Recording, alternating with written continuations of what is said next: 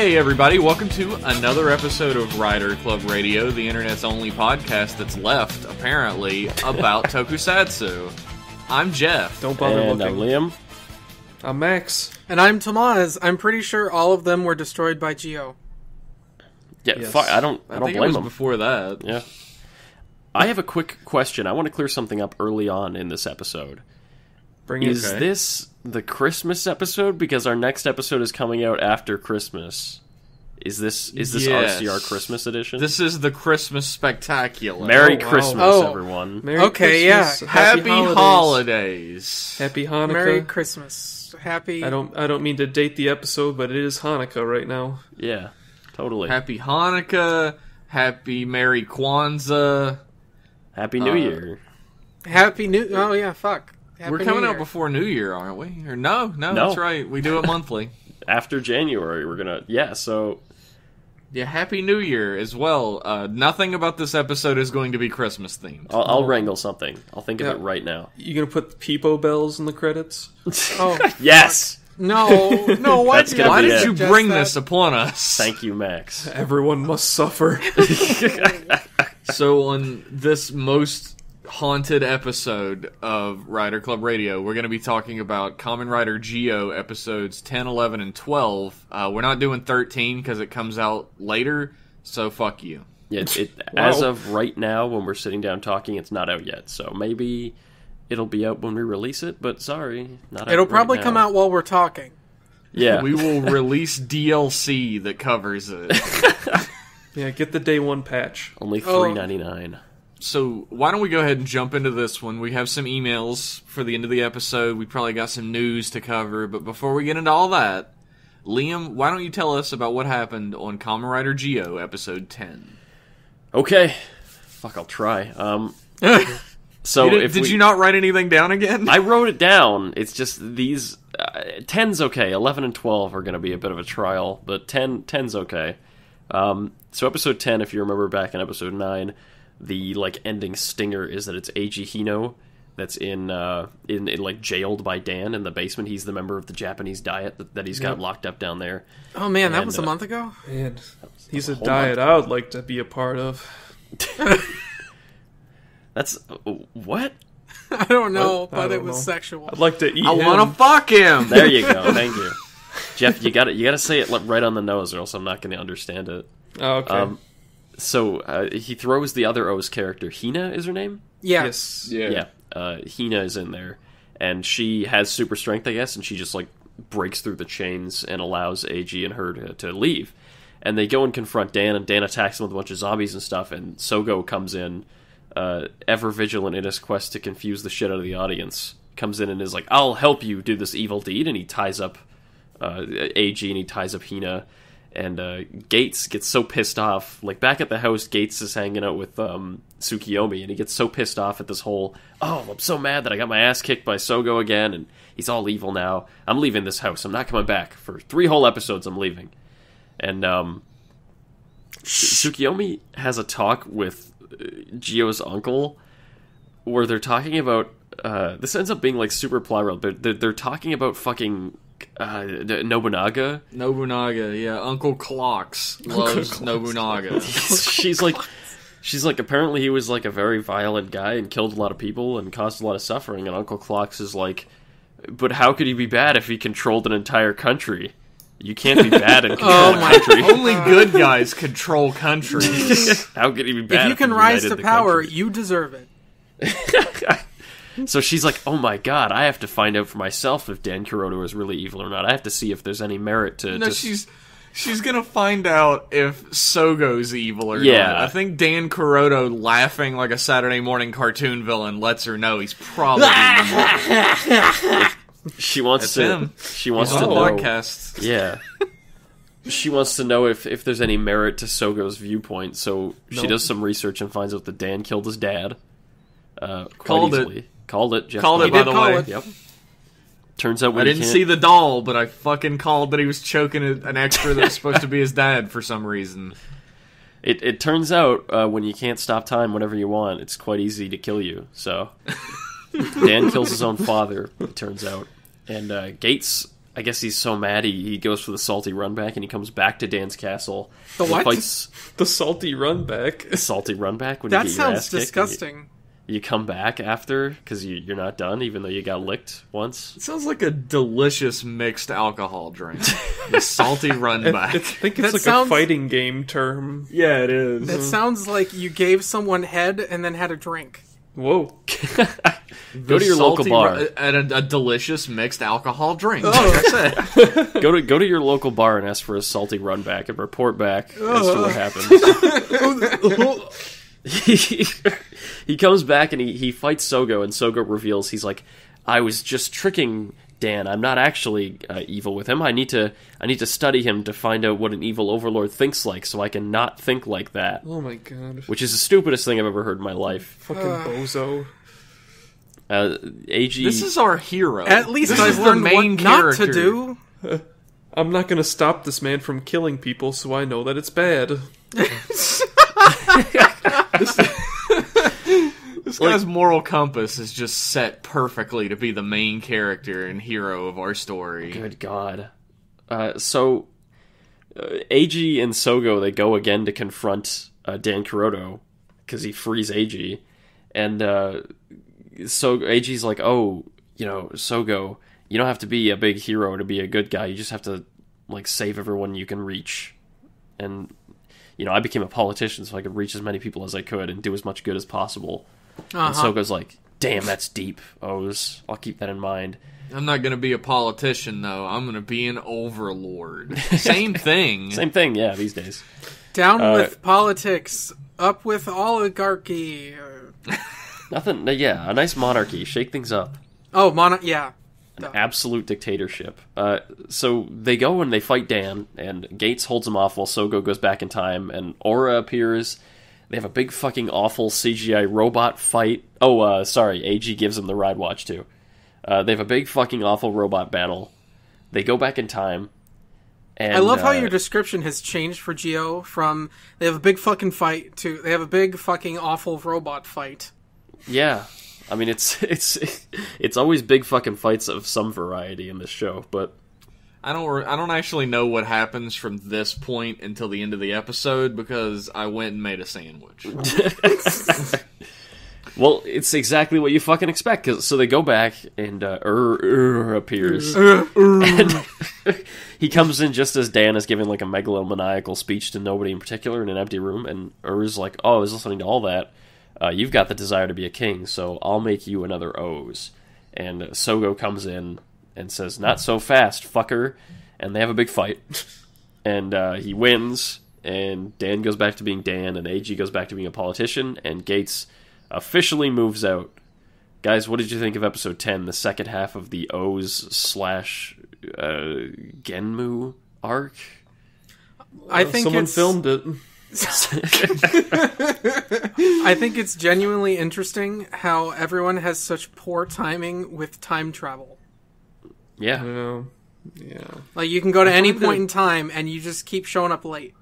I I find it um boring. This episode was very boring. Yeah. You know, we were talking about how great it was that Zi-O hadn't fallen into that like the same exact thing happens every episode trope. Uh, but for these last few that we're going to be talking about today and a couple before, it absolutely does. Where Yeah. he meets Ryder or Ryder's friend, and Ryder's friend is like, "I like the cut of this sociopath's jibs. Here's a watch I found." And then he transforms and he beats up the villain. The and they're not even doing the the watch delivery anymore. It's just like, yeah, they just have it. And Yeah, they, they dropped that completely. And you know what else they dropped? The legend riders he meets aren't riders anymore. Yeah, the and then the rider or the rider's friend looks off to the off stage and says, "Did did I do my three lines? Can I go now? All all right, see you." They, you they can finish see their his sandwich paycheck. and leave. Yeah, you can see him taking his paycheck as he walks off in the last shot. it's it's like in Decade, it's like all the riders he meets, they're riders, but they get, didn't get the actors. But with this one, they get the actors, but none of them are riders. Like there's always an element missing.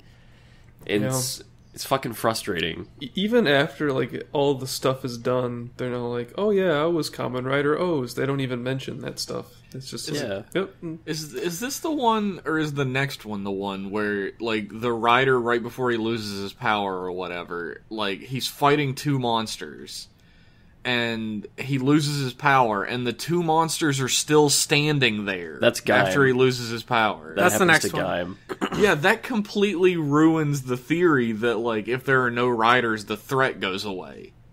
Yeah, So what the fuck happens to the world? Inves should have ravaged the Earth by now. Yeah, Helheim should have obliterated the planet. Yeah, go, and even going off of like the end of Gaim, Helheim should have been somewhere else. Uh, Like you know how what? how are Fuck they getting you. thrown in Helheim if Helheim is in some fucking planet like a million miles away? I'm No. gonna go ahead and guess nobody in the writers' room had this discussion when they were writing No. the show. They probably no had chance. this discussion, and then they just they had that you know there's that webcomic where the they're talking to the board member, and then that one guy speaks up and he gets thrown out of the room. Yeah, I don't think that guy exists for real. I think everybody in the boardroom was like, "Well, we'll just." What did they have in that show? They had the the forest through the zippers. Let's do that. yeah. Fuck it. Zipper forest. Let's do it. Zipper Forest. I'd imagine they're under some serious time constraints for like Yeah. writing these episodes and producing them and getting all like, but Toy shit. Yeah. making excuses for the show to be bad because they're in a tight spot is really like you don't you shouldn't have to do that. The show should just be good. You know, regardless of whether they're in a tight spot or not, the show is still doing badly. Yeah. And not only is the show doing badly, but it's constantly self-aware of the fact that it's doing badly and why it's doing badly. with all the it point constantly fives. it constantly takes time during the point fives to be like, man, why are we doing this? Why are My you doing this? Why am off. I doing this? Why are the Why do we have so doing many this? writers? Yeah. Why do we have so many directors? See, I got I have something to say about that. Uh, that 10.5 when they're talking about all the writers and directors.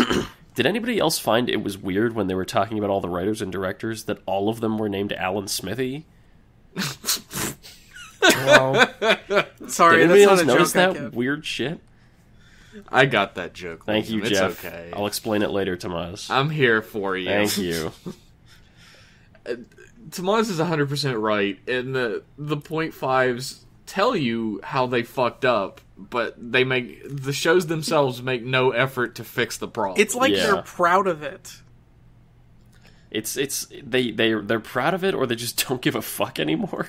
Yeah. is it selling toys? or kids buying toys? Uh, then who gives a fuck? well, I don't think it's selling toys. Who knows if this series is popular? Didn't didn't Well, someone? speaking, speaking of not knowing whether something's popular or not, somebody sent us a tweet um, saying that if the new season of Super Sentai doesn't do well, that they might cancel it. really? Yeah. yeah, I heard that, and I I was also hearing something similar from either one of you guys or from someone that tweeted at the That's our Twitter crazy. account that something similar was might be going on with Zi-O, like the toy sales might not be doing as well, and so maybe they might consider something along that avenue for Kamen Rider. Well, they're not like considering canceling Kamen Rider or anything. They're just they're considering like a revamp. Well, I mean, a revamp would be appropriate considering that this is an anniversary series and they're going to be doing something new. Hopefully. Uh, hi, anyway. welcome to uh, Ultraman Radio. uh, your one-stop shop for Ultraman things. Oh no, I gotta start watching Ultraman now. I would I would rather watch Space Sheriff. Welcome to We'll just Space go back to the '80s, the Space Sheriff Fuck it. podcast. or we could just we could just go the other direction and just watch Gundam. Garo keeps coming out with new shit, and I new have been meaning to spinoffs. That's true.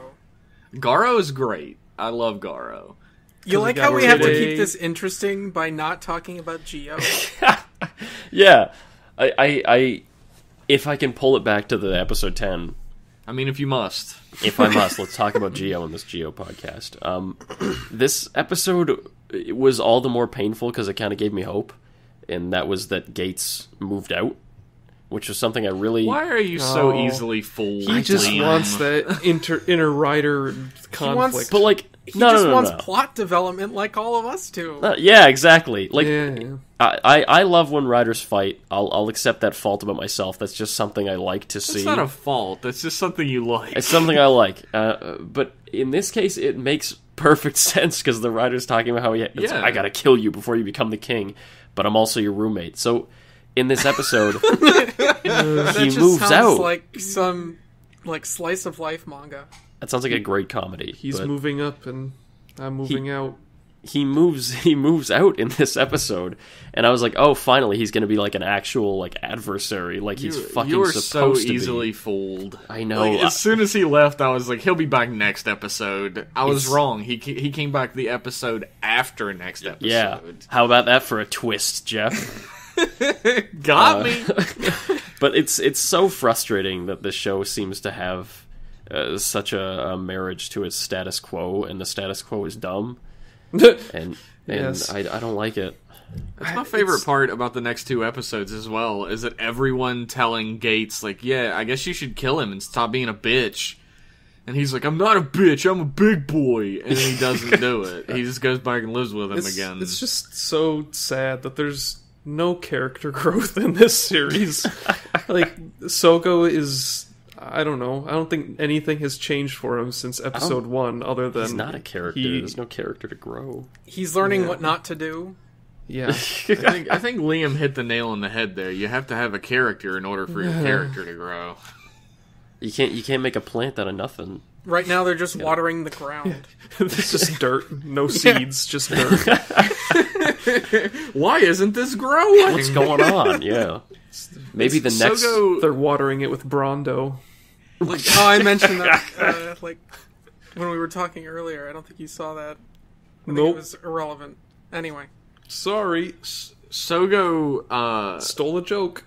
Sogo We've never is, done like, that here before. We've never stolen a brain joke. damaged. Like he's not the normal like uh, happy-go-lucky like uh, innocent type of protagonist who just doesn't understand the world he's in or whatever.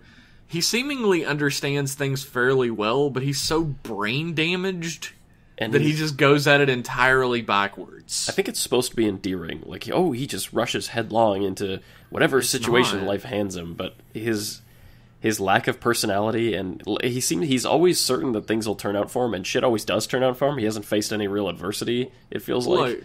He told Eiji Hino that he liked him twice, so of course Eiji's gonna give him this powerful artifact he found.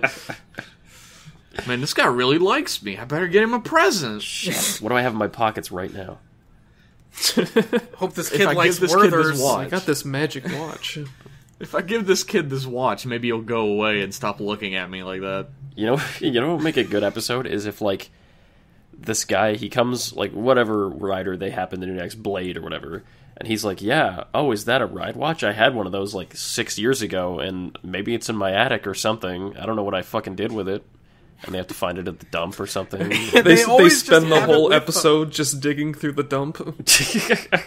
It's just like a wide shot of the dump, and someone yells, "I think I found it." And then it's no, just right a next- regular watch. No, no, that's, that's just not the it. script for this episode. Io.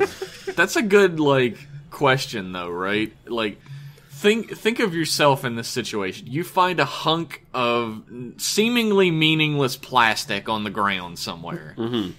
Uh, do you a toss it in a bin somewhere, or b carry it with you forever and always in case you need it? Yeah, put, like- it in, put it in a little uh, holder on your uh, on your belt for. Go down to the 10 corner years. store and grab a quick link and just throw it on there. and Attach it to literally your shower with it.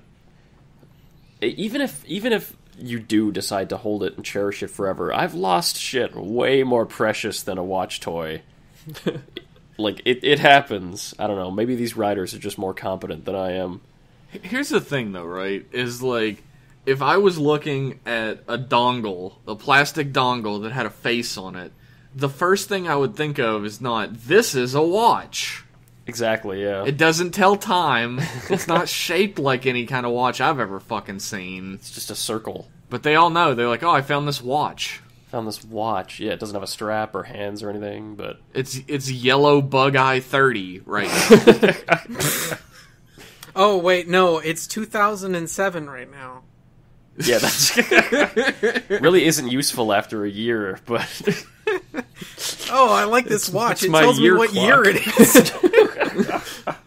is. It's ten was not the worst offender though. yeah, No. no. So let's Yeah. let's move on to Kamen Rider Zi-O episode eleven. Let's let's not talk about episode eleven for a while.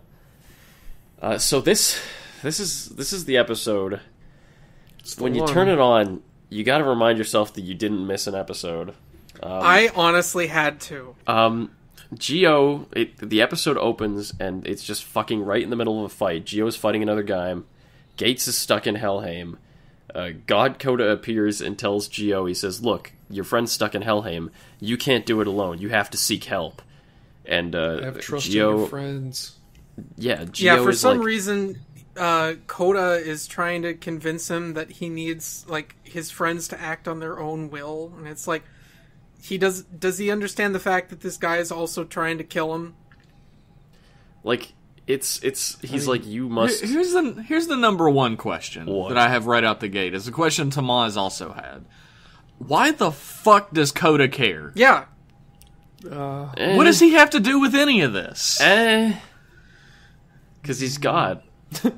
yeah, he's sees. Kami-sama. He's Kami-sama. he's he's the god of a planet a million billion light years away. He knows when Here's you are here's a- sleeping. He knows when you're awake. Here's a legit question for the dais. Okay. Um, I'm is he actually God? I don't know. They keep calling him that in all the crossovers. He's a god, maybe small g. He He's yeah, Kami-sama. He's, he's They call him god-like. Kami-sama. He has god powers. He can appear to people in their dreams. Look, Evil Piccolo's good half, King Piccolo's good half, is God. Kami-sama. Maybe he's god. I don't know. But uh, I'd buy that. yeah, fuck it. So he says, "Look, you have to seek help to fix the situation." And Sogo says, "Does that mean I should find help from a friend, or does that mean I should go three days into the past and get my former self Well- to help me?" Kouta's advice is actually really jumbled and doesn't seem to be what Sogo does. he, he says like you're acting on you're like acting on your own will and not allowing your friend to act on his will. Is that what an overlord does? yeah, And Sogo's no like fucking idea. Sogo interprets that to be I need to go three days in the past and make two of me so that I can give a, a second dongle to my best friend who's in Helheim. the most fucking convoluted plan. Why didn't he just get two of them? It's- Why didn't he just go back in time and get two of them? It's some real woman of the beginning advice shit where it's like, no, shit, that's not what I meant to say. It's getting all distorted. Um, meanwhile, in 2018, uh, Geiz is just walking around the streets because he has no home now, and the time jackers stop him and they're like, "Geiz, you should join us because now we're we're both trying to stop." What? Swartz stops him. Swartz. They're like, Geiz, you should join us because we're both trying to stop Sogo now, or we're on the same side, right? And Geiz is like, "Mm, "Fuck you, I don't like you." And uh, Sogo, Well, you got to look at it from Geiz' point of view. The guys are like, we're on the same side because we want to get rid of one overlord and replace it with another, right? same thing, right, pretty much. Geiz? Yeah. I am glad that you've given Geiz your angry dog voice. Um, yeah, no, that's what he is. He's like an angry little puppy with a man's body. He's got a And collar a baby's head. He does have a collar on. He does. Holy shit. It's it's it's ridiculous. Um, so Sogo goes out to find him. He says, "I gotta find my best friend Geiz, so he can poison my breakfast." And uh, Woz comes into the the clock shop, and he has an actual clock for Geiz's not Geiz Sogo's uncle to repair Clockman. Un- Uncle Clocks. And future Sogo uh, comes back, and he says, "Hi, I'm Sogo. I'm back." And you don't know, by the way. You're not told at all that it's future Sogo. You're just left to make it really obvious that it's two different Sogos because they're wearing He's different wearing shirts. a different shirt. Yeah. And they wait like 10 minutes to make the obvious known, and it's every single person that's watching the show just goes, "Yeah, I get it." Future Sogo, he's like, "Oh, um, my favorite dance troupe, Team Baron. They're, the members are disappearing, and they've been disappearing since 2013. We should go and investigate today." How the Fuck is that still? Uh, how's the dance troupe still around? I don't know. They they were the most extreme and intense. They stuck around after all the others stopped. Yeah. Did you see their very light calisthenics they did on stage? It was great.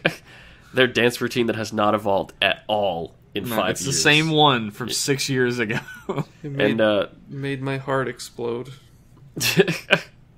the Team Baron guy is this the like the leader of Team Baron is another Gaim, and we're we're like shown a little demonstration because a guy accuses him of being another Gaim, and he like throws him into Helheim, and closes the portal. So Geiz is there. Geiz Geiz shows up and confronts another Gaim, and another Gaim retaliates by throwing him also into Helheim.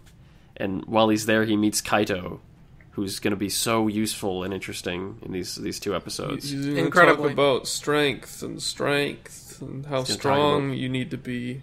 to change It's pretty much fate. like late Gaim Kaito. He stands around talking about strength a lot with his hands in his pockets. yeah, exactly. Playing Uh, And puck so he, he turns his head up at you and then looks down at you, so that you know Yeah. that you're beneath him.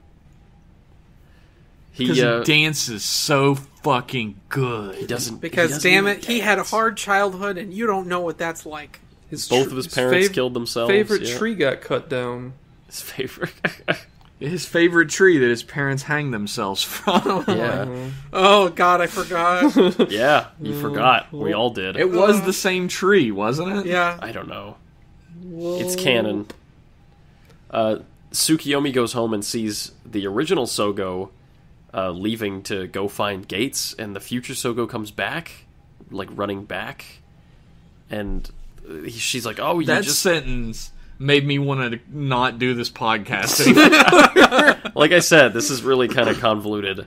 Uh, she's like, "Oh my God, Sogo, you just left wearing a different shirt, and then you're back." And he's like, "Yeah, sorry. Uh, the Time Jackers gave this guy power after he was kicked out of Team Baron, and since then he's like throwing everybody who gets in his way into Helheim." And then future Sogo leaves, and then old Sogo comes back, and Tsukiyomi is like, he tells him a bunch of stuff that future Sogo did that past Sogo, present Sogo didn't do, and he gets confused, Oh. and then I get confused, and then she notices their shirts are different, and is like, "Oh my god, it's there's two Sogos running around. That's the only explanation." Yep. Nute Gunray pops out of nowhere and says, "Now there are two of them." um, In in fucking Helheim, Kaito lectures Geiz for not having the balls to change fate and kill Zi-O, and uh, that's that's that's pretty much it. That's all they do. I could not yeah. talk about them for the rest that's of this. Yeah, that's all they do for two episodes. Yeah. they do continually pop up. The the show switches over to their point of view as if it's important to the plot. Yeah. And Kaito talks about how our everybody's favorite tiny puppy dog man is a bitch. You And he's right. It's like stuff's happening and they're fighting another guy, and then it'll cut to the forest. But like, you can't change fate. And he's like, yeah, I can. And then it cuts back to, to Gaim and shit. It's, Pretty much. Also, the that- cinematography while they're in Helheim is terrible. It's it's intentionally Well, crazy. Uh, The Helheim is just hard to watch because it's like Bigfoot's out of focus forest. Not only that, but they they had a shot where they split the frame in thirds, like horizontally, Yeah, and then yeah. slid them in different directions, and you're just like, what the fuck are you doing? I It's guess crazy in this forest. they want to make it le- it's insane. It's an alien forest where the screen splits. It's uh, crazy. it's the Instagram leave those forest. effects for when the leave those effects for when the kamen rider pulls out their sword and splits the screen in half. Man, uh, fuck. Speaking of split screens, fuck that thing in the next episode when Woz Oh my god! gives his little speech with the split screen like flying all around Oh, him. it was terrible. I couldn't even watch that. Fit- Um, I thought it was eyeballs alright. I I couldn't Jeff. really focus Well, on actually, what no. was happening. Actually, no. When Woz gives his speech, I didn't think it was all right. When they're transforming at the same time, I thought it was all right. Yeah, yeah. It's just Woz' head in the middle looks dumb with their the the screens like all like flying around him. Well, we'll get to that. We'll get to that. We'll get to that. I, I just If have you to- want to skip talking about 11 and just go to 12, I'm a okay with that. let's let's do this by the book, Jeff. Let's do it by Uh, the we book. do have harsh bylaws. Yeah, they'll fire us if we don't. So, um, we President wouldn't Sogo. want that. Yeah, Yeah, do we? we really need the paycheck. yeah. Gotta gotta support our lifestyle. Paycheck. you get one of those? Wait, you guys getting paid? What? Oh, I Um, actually just pay myself. oh, makes sense. Uh, That's our budget here at Rider Club Radio. You have to pay yourself. Uh, President Sogo, meanwhile, regular Sogo, he he goes to uh, a Team Baron concert and he confronts another guy and they have a big fucking fight. And future Sogo shows up and they meet face to face. And finally, you see that there are two Sogos. What did you guys think about episode eleven? So if if uh, team team Baron leader guy who's actually another Gaim, right? Yeah, If Sogo would have jumped out and transformed into a robot monster and attacked him, uh, he would have got away scot free with everything he did. If he just would have not turned into a monster too. yeah. Well, All he had to do was go, "Oh no, a monster's attacking me! I bet this is the monster that attacked all the other Team Baron members." oh yeah. Oh my god. You know, and he would have That's got away with everything. yeah. You know, it'd be better if that fucker wasn't another Gaim and it was Micchy who was another Gaim. Oh man, You know, you know what would have been, been better great. is if I love if, that Ki- shit. if Kaito was another Gaim, so he played any sort of role in this episode mm-hmm. at all. Yeah, why not? Also, apparently, Kaito has been in Kaito and all the other members of Team Baron have been in Helheim for five years, and, And they have not turned into Inves. No, and they they- haven't eaten. yeah, there's what are nothing they to not eat. eating? What are they drinking? Piss? Where are they sleeping? Piss. Piss? They're drinking piss and they're eating Helheim fruit and they're not turning into Inves because plot. It's The trick is to- piss If you just eat the tree bark. Yeah, the trick is to drink your own piss and then piss it back out and then continue the cycle. That's what they all learn there. Um, but it, it just it's like it just shows kind of a lack of thought in the writing. I guess that's kind of a lot of Zi-O where like it it's it feels like nitpicking, but it really speaks to like a lack of effort put into the writing when like the entire plot of Gaim was like people can't live in Helheim. Like that's the problem. Helheim's going to take over Earth and people can't live there. So we designed this whole belt system so that people can survive in Helheim. Yeah, and this this episode is like fucking. They just live there. Fuck you. Just shut up. They're just there for five years. Just Also, It's- his it's- clothes aren't dirty. no. his cl- he'd be naked. He wouldn't have his clothes anymore.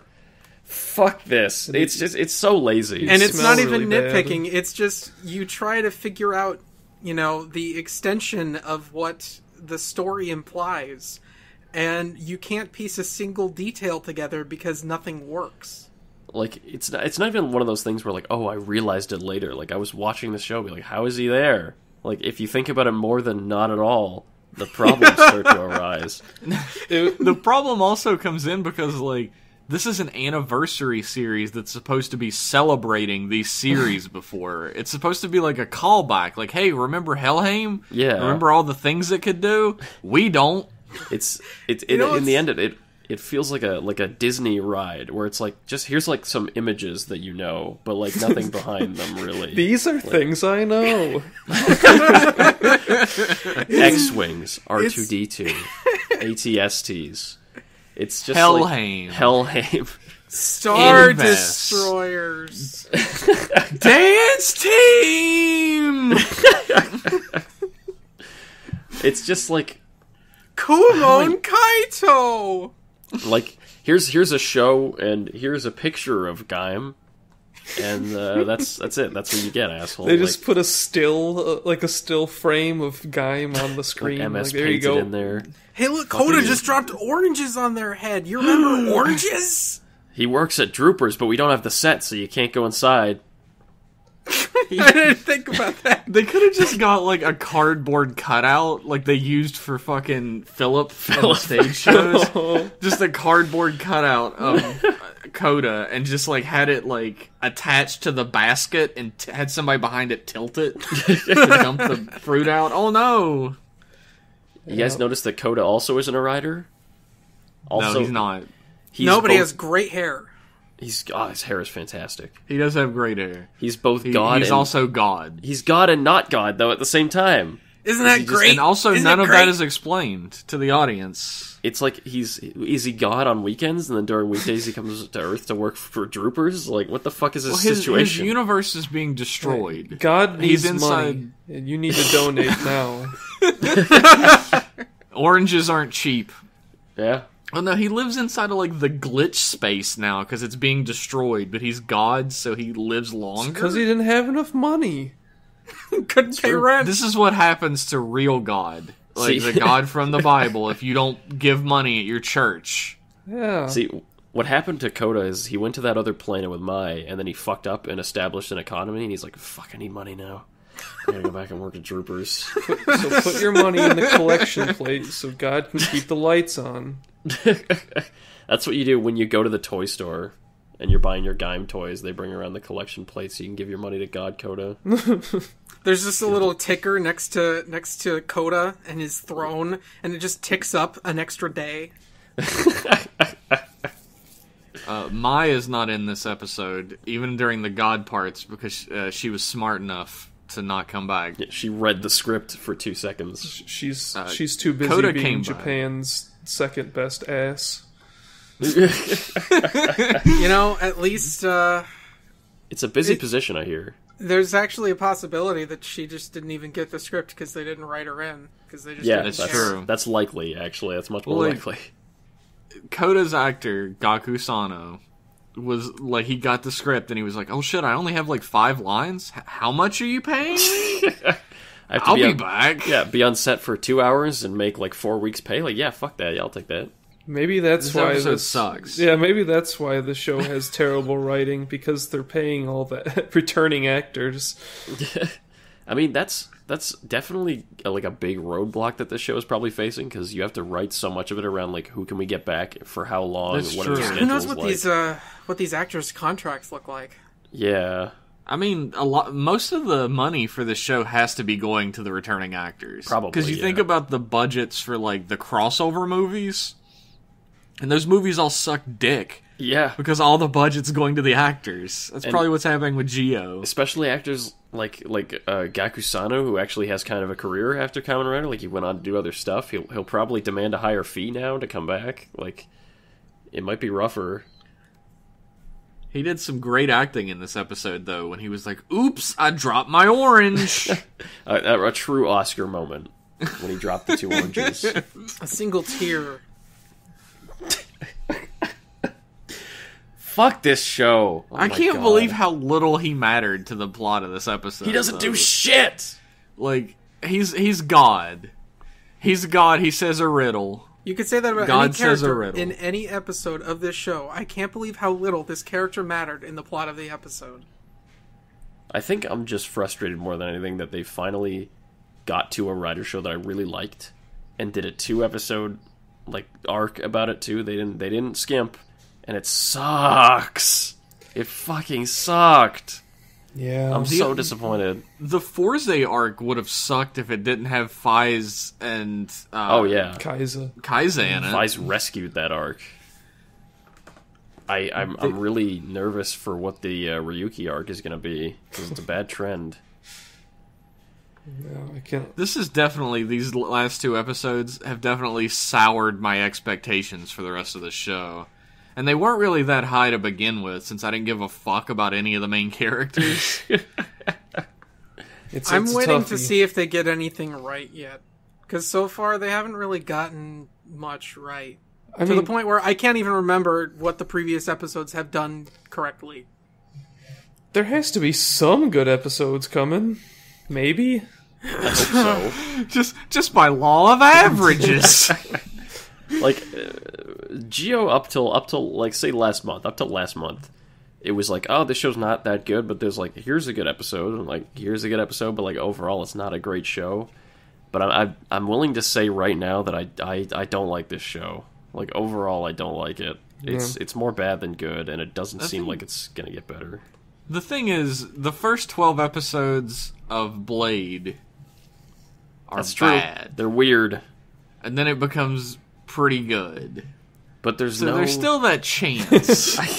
So you're There's saying no- there's a chance? I want a scene where uh. Geiz falls to his knees and says, "Dude, my my Karida is gonna Boro Boro," and then we see a really shitty fucking Sony Vegas effect of his body breaking apart. What? I thought you were saying "dude, the- my car," and I'm like, "Are we doing a "dude, where's my car" crossover"? no, no Karida wa Boro Boro da. He's his body is going to break. Dude, where's my Karida? Uh, they don't use the video toaster to do special effects in Kamen Rider anymore. Not they anymore, no. upgraded. They, they upgraded to the video microwave. oh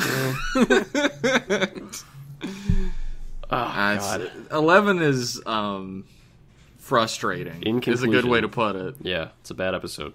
So now that we've covered that, we'll go ahead and move on to um, episode twelve of Zi-O. Liam, take it away. Okay, here we go. So uh, Keep it Sogo- snappy, because no one here wants to talk about it for much longer.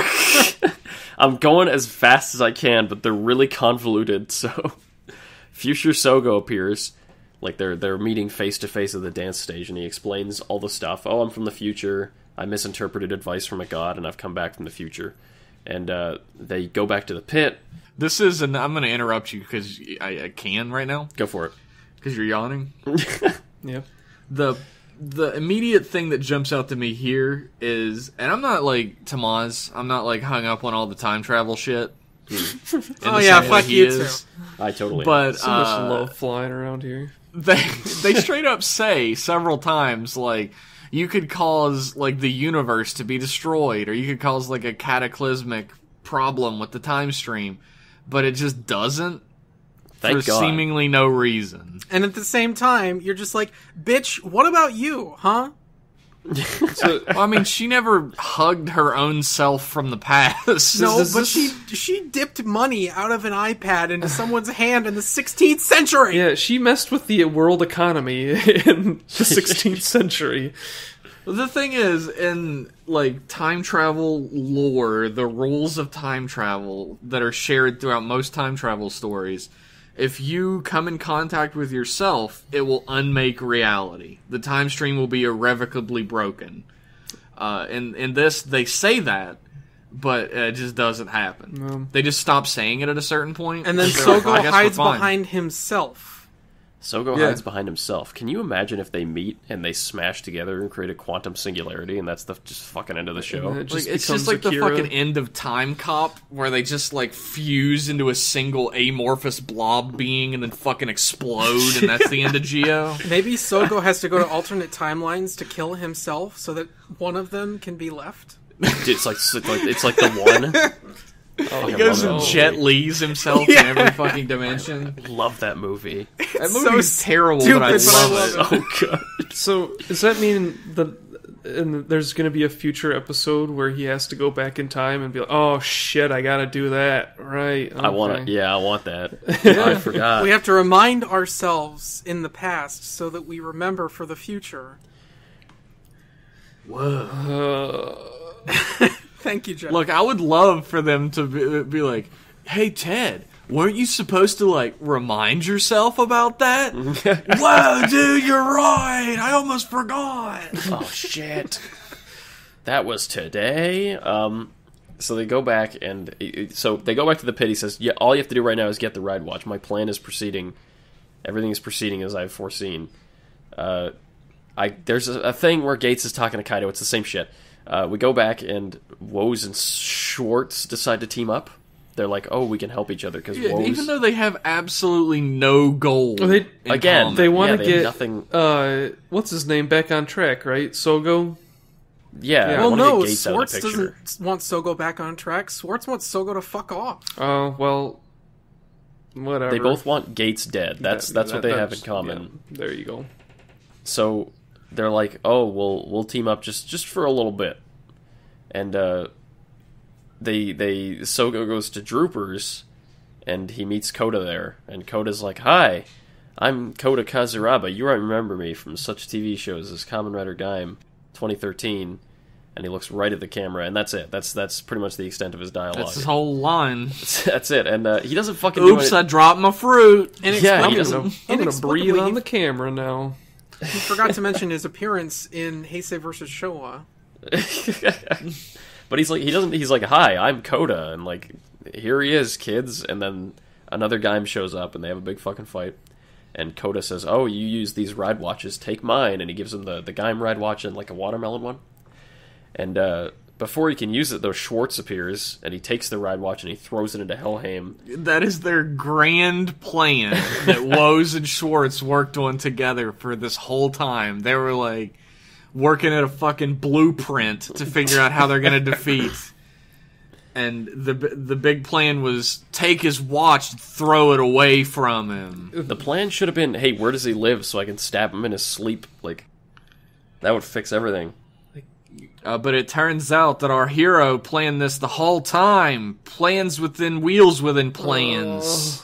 he throws the watch and uh, the watermelon watch like turns into a little mini watermelon I, I kind of chuckled at that. I'll It was honest. funny. That Yeah. was It was cute. I gotta laugh. it looks like it's going to be all huge and it zooms out and it's like a tiny little robot and he I, I do always like that joke. That There- joke always lands for me. yeah There And were there- actually there was- there were a couple points I forget exactly where. I'd have to rewatch the episode, and I'm not doing that. Uh, in, never in eleven or twelve somewhere where I legitimately had a good laugh at something, and I can't remember what they are. i i'll tell you uh, there's one part in this episode when Tsukuyomi takes out the Faiz phone and she's like sogo and both Sogos answer at the same time, and she's like, "Fuck, this is so annoying!" And one of the Sogos, like, was- like yep, all the music stops, That and was he's it. like, "Oh, sorry." it's it's a funny little part. Um, but uh, fuck, what was going on? So Swartz throws the watch through the portal. The watermelon chases after it. Turns out Swartz knew where they were because Woz told them. Even though the Time Jackers seem to always know where they are and what they're doing, they're this time they're like, "How did you know?" They're too And, uh, busy Woz time told them. jacking off. He's Maybe Woz that's how it told works. them, and Sogo is such a great, perfect, awesome guy that he's not even mad at Woz. Um, so the present Melon, I hate this part. The present Melon robot finds Geiz and connects with the future Melon robot that's still on Earth to make a video call to Geiz. Geiz has the watch because the Melon picked up the watch and brought it to the the, the present Melon picked up the watch, the present Gaim watch, brought it to Geiz in Helheim, present Geiz, and then had a video. So, call. what did you guys think about episode 12? And they have a video call, and Sogo says, "Bring the watch back, Geiz. This is your duty." That's his plan to get Geiz to come back. Just ask him really nicely over video phone. And uh, Geiz says, "Okay, I'll bring it back."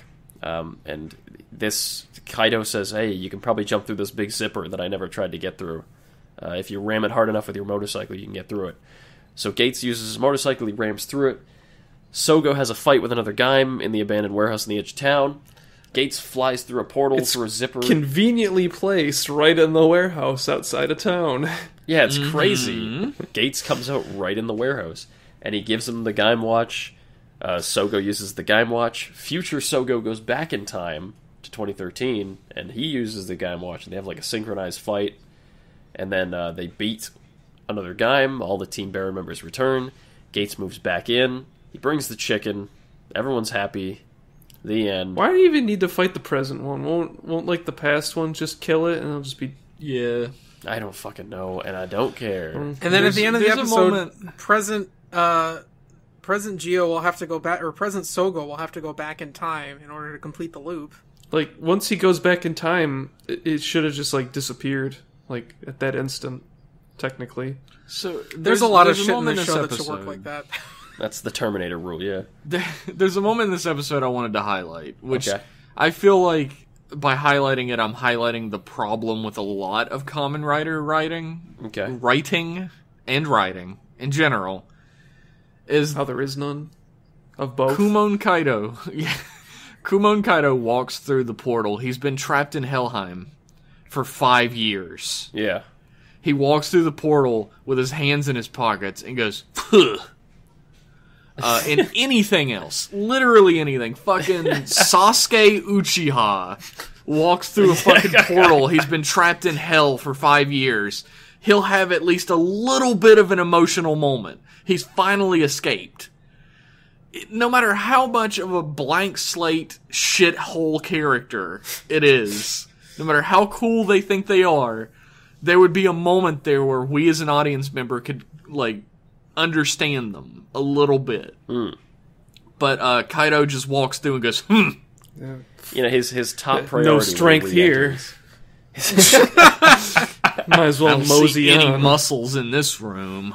It's his top priority is kicking that guy out of his dance group. Like immediately he gets back after a five year tour in hell, and he's like, "Better, better clean up my dance gang." That's his Well, that's- top fucking. That's just like a microcosm problem throughout a lot of Kamen Rider, and I mean, no matter how like dumbed down a children's show is, the characters still emote when things happen. even if like it when fucking Big Pete steals Mickey Mouse's hot dogs in Mickey Mouse Clubhouse, Mickey still goes, "Oh no," whatever. you think he'd at least come back and be like, "Oh, thank God, that feels good. I'm gonna have a cheeseburger or something." But no, Something. Not even literal cyborgs in Kamen Rider are this emotionless. like, there should have been a moment where he walked through and like maybe he looks out the window or like up in the air and he sees the sun for the first time. And there's just a moment where like the the camera stays on his face while he looks up at the sun his dumb fucking emotionless mug. But we as an audience get from the juxtaposition that he's happy to finally be home. Uh, but we don't even get that. No. Earth. he is not the main character, but the main character also doesn't do anything emotional in the whole episode. So. Yeah, no, it doesn't happen. It would have been cool to see like if if when Geiz tumbled into Hel- Heckheim, Heck, uh, like uh, he just stumbles upon like a, a just beaten old Kaito with like a beard and shit a, a skeleton Yeah. wearing Kaito's outfit. skeleton, or he's got like one it's, of the uh, mass it's Robin produced. Williams and Jumanji. He has one of the mass produced uh, Sengoku drivers. He's just Yeah. Oh yeah, the the Kurokage. he's just been alone there, Yeah. and then he's like a crazy old prospector. He's like, "Hey, how's it going?" Well, like his hair is perfect. He's got no Yeah. beard.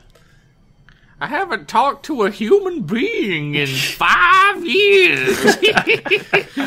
And he starts uh, making music on his on his alcohol bottle.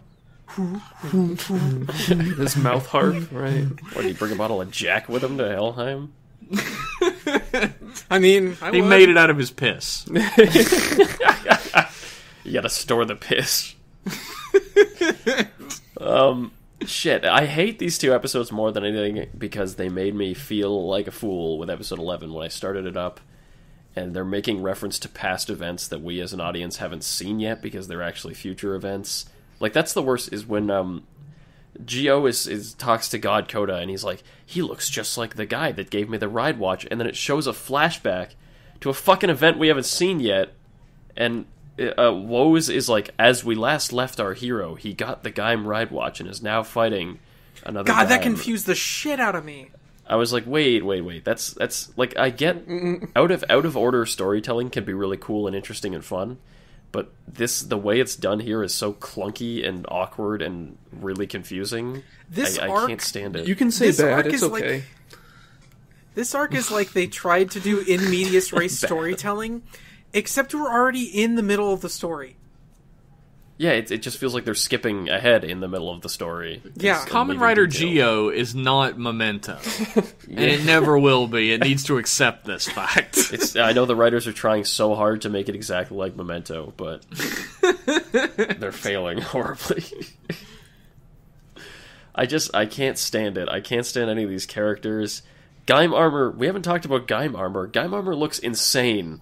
Yeah, I don't know why they had to put those little like mantis swords on the side. Why? They those shouldn't have been there. Why does he have like? I get that you're supposed to have whatever dongle they used on your shoulders or whatever. Yeah, But why? Why did? Why do you have to do that? Because it looks really bad. that's that's what the the the art team demands. That's It's why just- the that's why the Kuuga ride armor looks so good because there's no stupid bullshit that Kuuga used to, you know, unless they like took the fucking like spear and gun and sword and like put them on his shoulders. I'm, I'm glad they didn't get that idea Yeah. when they were working on it. like all the ride armors well not all of them but most of them look pretty shit because they're just really bulky and crazy but the Gaim one is i think my least favorite one so far just because like with uh, like Ex-Aid or with like uh, Fourze, it's like you have a bunch of shit hanging off your shoulder, but it's like a big chunk of shit.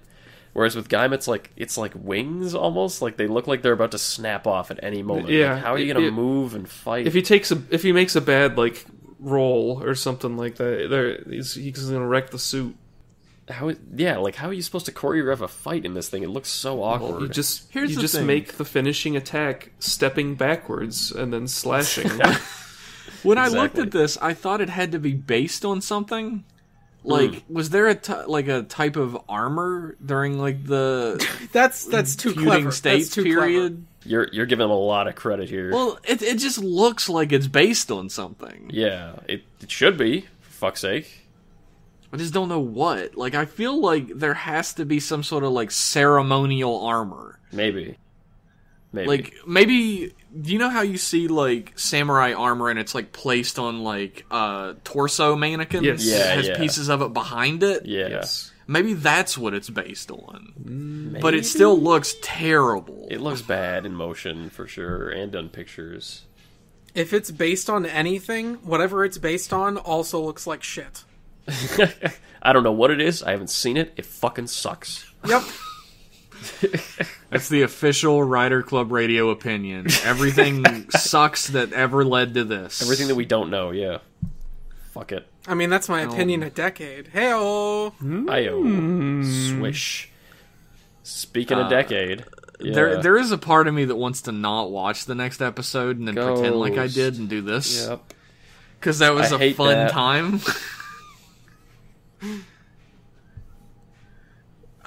I had You- I you have can pull a fond memories of how legitimately angry Liam. I'm sure Liam has fond memories. Yeah, fond. Really fond. you you come into my house and you disrespect the sanctity of the structure of this The show. sanctity of Kamen Rider Ghost. The sanctity of this marriage.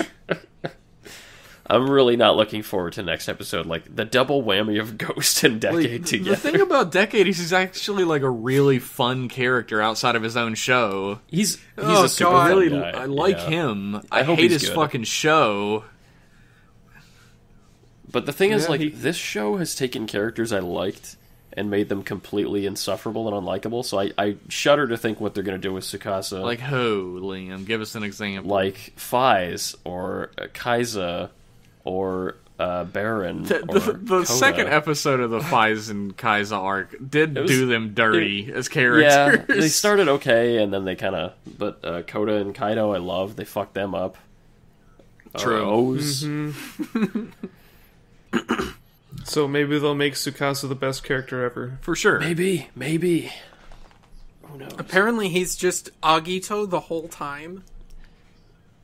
That's the only suit that could pull out of mothballs for this. Yeah. The the thing is, I don't want to watch Ghost. Okay. I don't want to see him on my screen ever. Me neither. You just, anytime he's on screen, just put your thumb up in front of him. There's only one time Ghost was good, and that was when he was in those Kamen Rider Drive movies. Oh yeah, That's that's When he true. actually looked interesting. Yeah. and acted ghostly and was like floating around and Turning shit. invisible and stuff. Yeah. Yeah, he's like, yep. It looks like um, Decade's going to be working with the Time Jackers, which would be great. I would be That'd a be big fan of that. But if he was like, to- if he turned out to be the main villain of this series, that would be the coolest shit ever. Oh, that's way too cool for this show.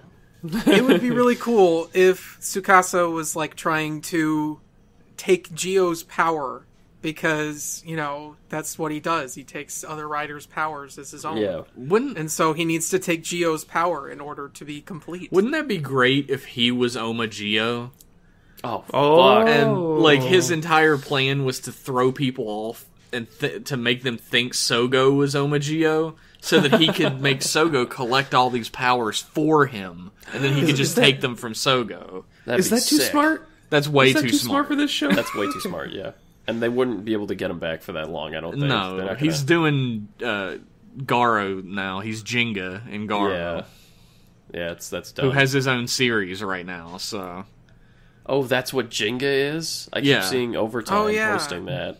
Jenga was a villain in one Garo season, and then now he's the main character of Oh, this shit. new season. He's he's doing well. I thought they were talking about Jenga. Yeah, They do play Jenga, show. instead of fighting every episode. So Yeah, Okay. if Yu-Gi-Oh can do it, these guys can pull it off. I think. Maybe we should make this a Garo show until next year. there is that option for us to pull the plug on watching Zi-O and do something else. But guys, I uh, I have I did watch all of Kamen Rider Amazons season one, and that's a good fucking show. it is a great show. show. You are two seasons behind us talking about it, though. Yeah, We do need to watch that movie whenever it finally comes across the pond. oh yeah, I want to see how they oh, Is end there it. an Amazon's movie? Yeah, it's supposed to end the series. I, I'm not optimistic Oh. about it, but we'll see. It looks very toyetic, which I'm not psyched about. Yeah. Oh, Is there a lot of doodads? The- yeah, there's like the new writer has like d- doodads to transform, and uh, Haruka has like his he's even more robotic form. don't don't say too much because I haven't started season two yet. Uh, when Haruka got his arm ripped off and he got the robot arm that Oh, yeah, shoots rockets. Yeah, I love that part. Haruka wasn't the one that got his arm ripped off. You liar. It's true. It's true. uh, Can we- anyway, Zi-O sucks. Yo sucks. Thanks for listening. Can we I mean, talk about it, uh, There's still hope. It ain't worth it. There's still hope, There's but still hope, not a yeah. lot. Not a lot of hope. And it's not ghost level terrible. no? it's like not wizard yet. level crappy. Yeah. Yeah, I I put it somewhere around no, at least.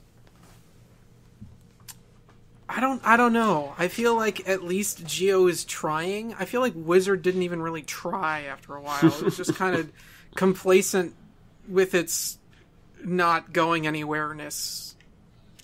Maybe there'll be just a kinda tertiary, circles. tertiary writer that just makes it better. There, there's a problem I'm running into with doing like the splash images for these episodes. Who the fuck am I gonna put in this episode? You're just gonna have to do a Zi-O form, maybe, or a Geiz form. Yeah, I guess I will. Pick your favorite one. They suck. So They I don't suck. know. Pick the bulkiest, uh, ugliest one. Just do the Kuuga one. Just Fuck it. preempt the movie. Maybe I'll do another Kuuga as my image. oh no, no! Can we I'll just about- do like a minimalistic picture of a fucking character from Halo One, of an elite, and just put it on there. just just recolor it a bit. Just call yeah. it another Kuuga. Can we talk about that movie exclusive shit that got dropped this week? The the Kuuga Sure. in double forms and another Kuuga. Yes, we learned we learned about um, all the little tidbits from. If you don't want spoilers for a movie that you're not gonna watch, skip ahead to time code whatever the fuck. Yeah. Or or a movie that you're gonna watch two years from now. Yes. um, Yeah. Kuuga features Let's heavily be honest in the film, and uh, so of course our main character Zi-O is going to get a Kuuga form, Mhm. uh, which we got some photograph photographic evidence of anyway this month, He's giving a thumbs up. and it looks fucking great. It looks way better than his usual armors. Yeah, it's stupendous. Yep, It it looks- doesn't look like he's wearing a refrigerator. it looks better than any suit in Zi-O at this point. It's really good. Uh, It should be the official form. on the other side of the pendulum, we have the double form. where Which- he is wearing a refrigerator. You know, Double is very famous for having split down the center, one side one color, one side the other. That's Double's deal. Uh, instead of carrying that throughout the whole body, he's literally just wearing a chest piece Yep. with the biggest pauldrons this side of World of Warcraft Classic. Yep. He's he's not going to be able to walk through any doors with that thing. No, It's you can you can see the design philosophy where they're like double. Oh, what's his gadget? The Gaia memories. So give him huge fucking Gaia memories on his shoulders. But then they're like, Kuuga, what's his gadget? Oh, he doesn't have one. Well, I guess he just doesn't have shoulder pads then. Fuck you. He's just just little ones. He gets to be gorgeous. Yeah. Meanwhile, poor uh poor double armor over here is like, hey, what was the whole thing with double? Everything was like W's. Yeah, let's make his fucking torso a W. yeah. Yeah, his head is the middle of the W. I love it. If there's a decade form, would would they just put like cards on it? Uh, there is a decade form. I've It's seen coming. scans of Yeah. it. It is probably the most hideous form in this entire show. It's quite Does bad. it look like uh, Kuuga's uh, final form, or not Kuuga's final form, Decade's final form? It's he's it's got, like, the- reminiscent, I guess. Kinda. He's got the. Pokemon card binder on his face or whatever. he's got a card for a face that can change. oh, Fucking Zi-O's decade form's face is completely flat. Yeah. Like it's just a flat box. it looks dumb as shit. Uh, but it, we're talking about uh, Heisei Generations Forever. Hmm. Uh, we got to talk about another Kuuga, the villain of the plot. Oh my god. who, as I mentioned earlier, is an elite from Halo One for the Xbox. He really looks Yeah. bad. looks terrible. He's got- he's Waspinator from fucking Beast Wars. His face looks looks, like so CG. much like Waspinator. It's crazy. He looks like CG that actually came from Kuuga in 1999. Exactly, yeah. I hope he talks like Waspinator. Waspinator. he looks fucking terrible. But Like he look, looks like a World of Warcraft classic design, honestly. Uh, all this stuff is bad, guys. I get it, but aren't you glad that they got our favorite Kuuga back, Yusuke Onodera? Wait, that is unconfirmed, sir. is that is that unconfirmed? It's a rumor. I I do a lot of um, searching around on Instagram's search feature. They give you like a feed of related things that you've like related to things that are related to things that you've looked at before. yeah. So I get a lot of Indonesian, Singaporean, and Filipino posts I get about that Kamen too, Rider yeah. because Kamen Rider's much bigger in those places than it Yeah. is here. Uh, so I don't understand any of the text, but through context clues and translators, I uh, have gathered that Onodera Yusuke from Decade is going to be the Kuuga that comes back for this film. Oh no. I do know I 100% that has been confirmed that Joe Odagiri was given a script for this film and he turned it down because he, quote, hated it, unquote. Wait, Rightfully so. you're telling me the script for a Kamen Rider movie is bad? Say it I can only so. imagine that Joe Odagiri is like, man, I dodged a fucking bullet for not coming back for these fucking movies. Yeah, you know what? As much as I would like Joe Odagiri to come back, it's a solid career move to not do that. Yeah. Oh yeah, he's totally in the right. Like he he does actual like dramatic film roles. Like he's over there Tom Hanksing all over the fucking place. He's not gonna come back for this. Yeah, he's exactly. uh, you better he's be Japanese Mr. Rogers. if you're gonna bring him back. If you're, if you're gonna bring him back, that movie better be fucking Shakespeare, pretty much.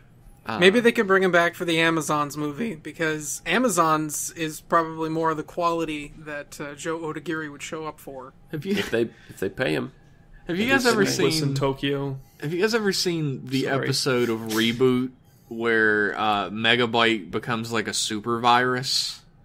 No. no. Uh, another If I did, looks I've like that forgotten it. episode of Reboot. oh, I've seen that picture. I know what you're talking about. I've seen the picture of him. He gets his long ass legs and his arms. Yeah. all- yeah, yeah, yeah, yeah, yeah. He looks like a CGI character from the television series Reboot in the year 1994. Now, hang on. Have you, that's have you guys seen the movie Lawnmower Man? Yeah. Oh my god, yeah. What about that CGI abomination? He looks like Oh, that God. level of CG. Well, not really. He looks like a PS1 character. he looks like a PS1 CG, not like in game. Like Yeah, they, like- they drew this up and they put like six weeks into developing this character. like a Tekken One cutscene. Yeah. You, you go to fight another Kuuga on the overworld map of Final Fantasy VII, and he looks like a gross little block monster. But then in the cutscene, he looks like this, Yeah, exactly. uh, which is not good. I'd, I'd honestly rather have no uh, Kuuga at all than have Yusuke Onodera coming Yeah. back. I'd rather just have no I one. could agree with that. Or just I have mean- a silent person in a in a Kuuga suit. Yeah, fuck it. It's it's better than bringing back, you know, the proper Godai Yusuke and then just having him be a different actor. yeah, Uh, oh god. The That's fact true. that they're bringing back the side character they made up because they couldn't get Joe Odagiri to stoop to a level so low is okay. There's something poetic about that, mean- isn't it? That they couldn't Yeah. get him for decades, so they replaced him with this guy, and then they couldn't get him for Heisei Generations forever, so they just replaced him with the same guy. It's great. It's it's like poetry. It rhymes. The actor that plays Onodera Yusuke is just sitting by the phone with his fucking fingers crossed, like Joe Odagiri, don't take it, don't take it, don't take it. Just the second choice forever. Oh, He's uh, he's the It's main like whenever you- of, um, Kanpai after Kanpai five. Senshi after five. Yeah, he's the main character in that. He's really good in it, honestly. I gotta see It's- after five. It looks really funny. It is really funny. It's like if you went in for auditions and every time you got a part, except you only got understudies. Poor guy. Ah, Yeah. poor bastard. Yeah. It's not his fault they wrote a shitty character. Yeah. No, it's just his fault he took the part. I guess It's not his fault. The script is ass. his fault he needed money. like, here's the thing, right? Everybody always talks about, like, oh man, it's a fucking travesty that Joe Odagiri wasn't in Decade.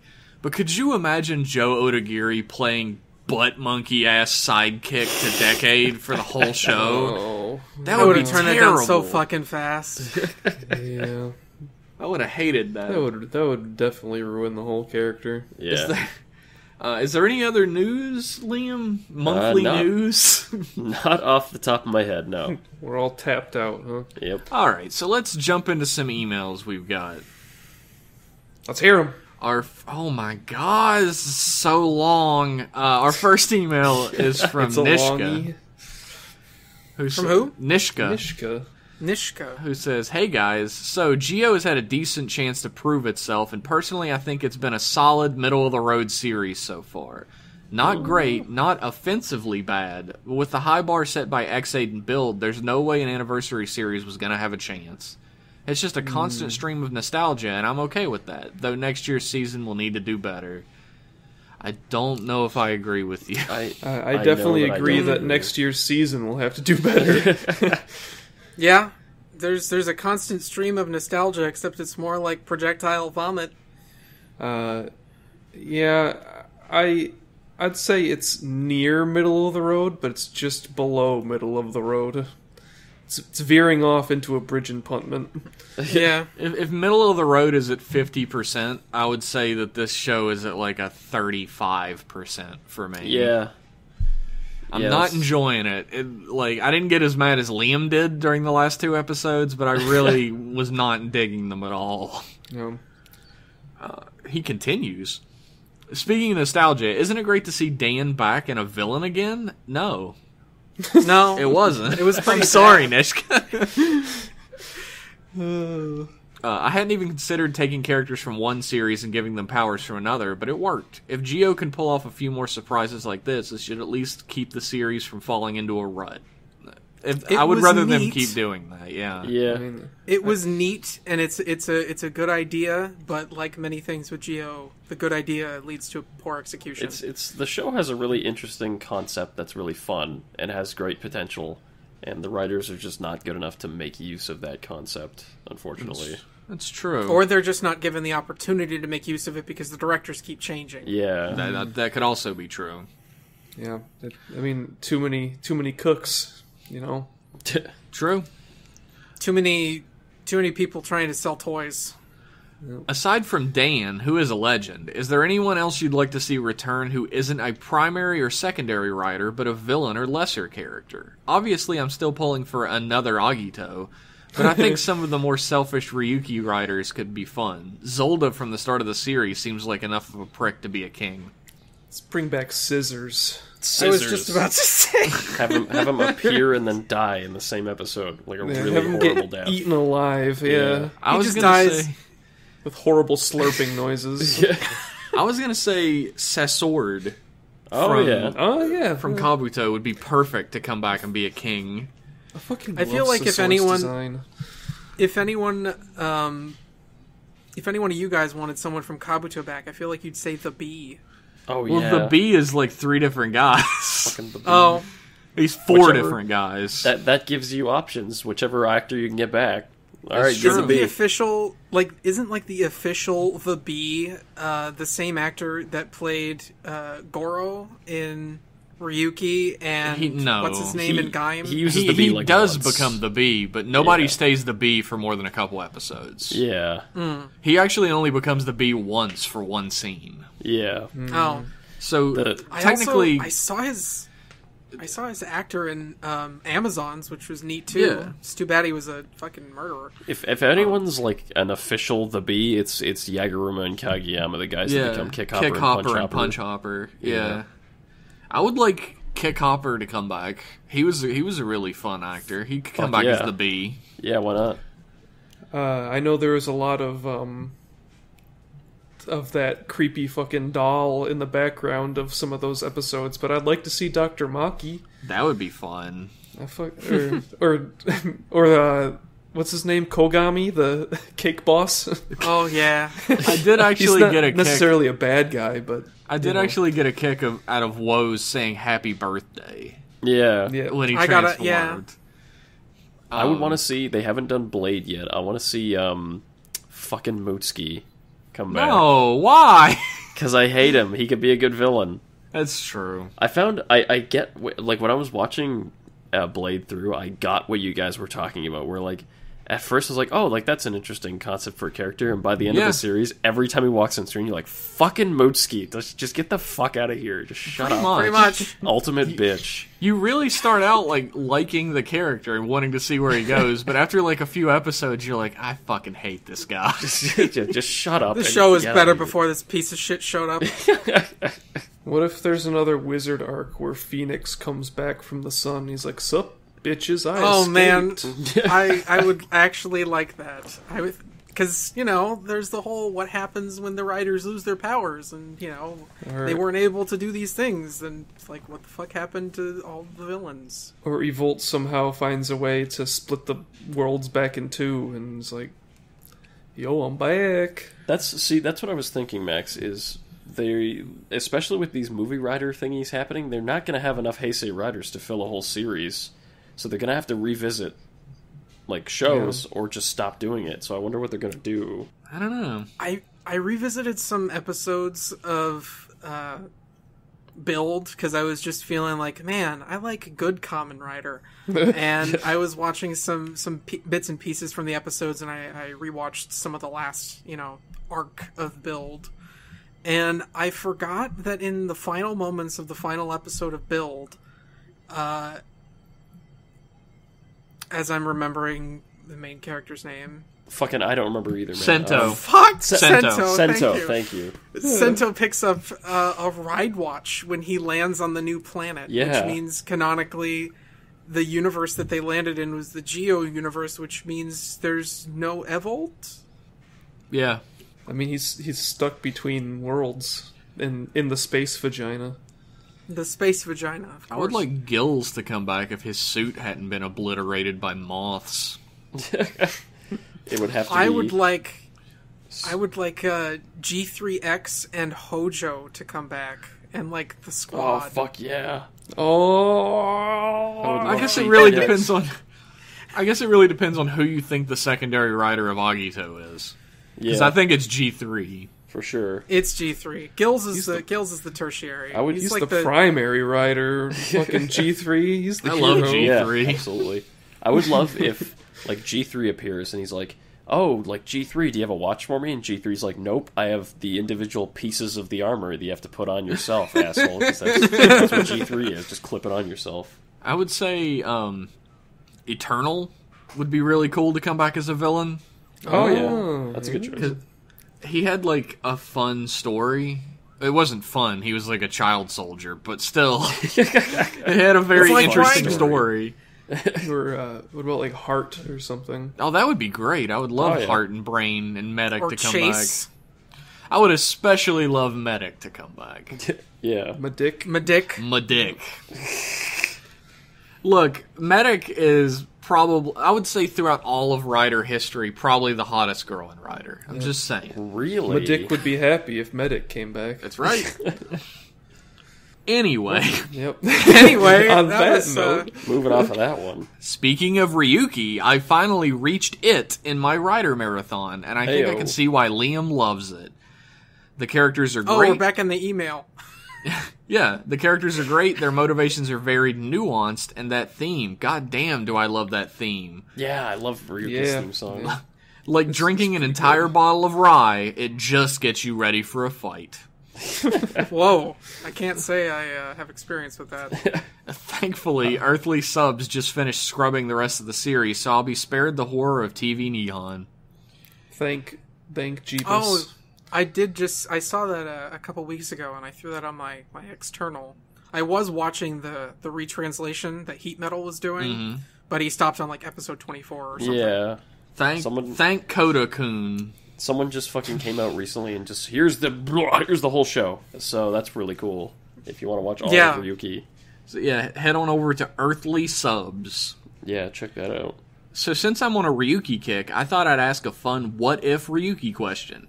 The four of you are in the Rider War. What would you contract? Any creature, character, animal, whatever. What would your wish be, and would you happily kill the other three? I'm just going to assume Liam would contract a pug. Have a good one, Nishka. As much as I'd want to contract a pug, I don't think it would make a good fighting partner. it's true. It'd probably just try to lick your opponent. I'm Yeah. gonna have to contract with a tortoise. Okay. And then be Slow and like the defensive rider, have like a big ass shield that I bash people with. Uh, I'd pick a, a bear. I would contract with a bird, like a sparrow. I would contract with a praying mantis. Oh, That's a good one. shit. What would your Yeah, wish like be? Dual scythes.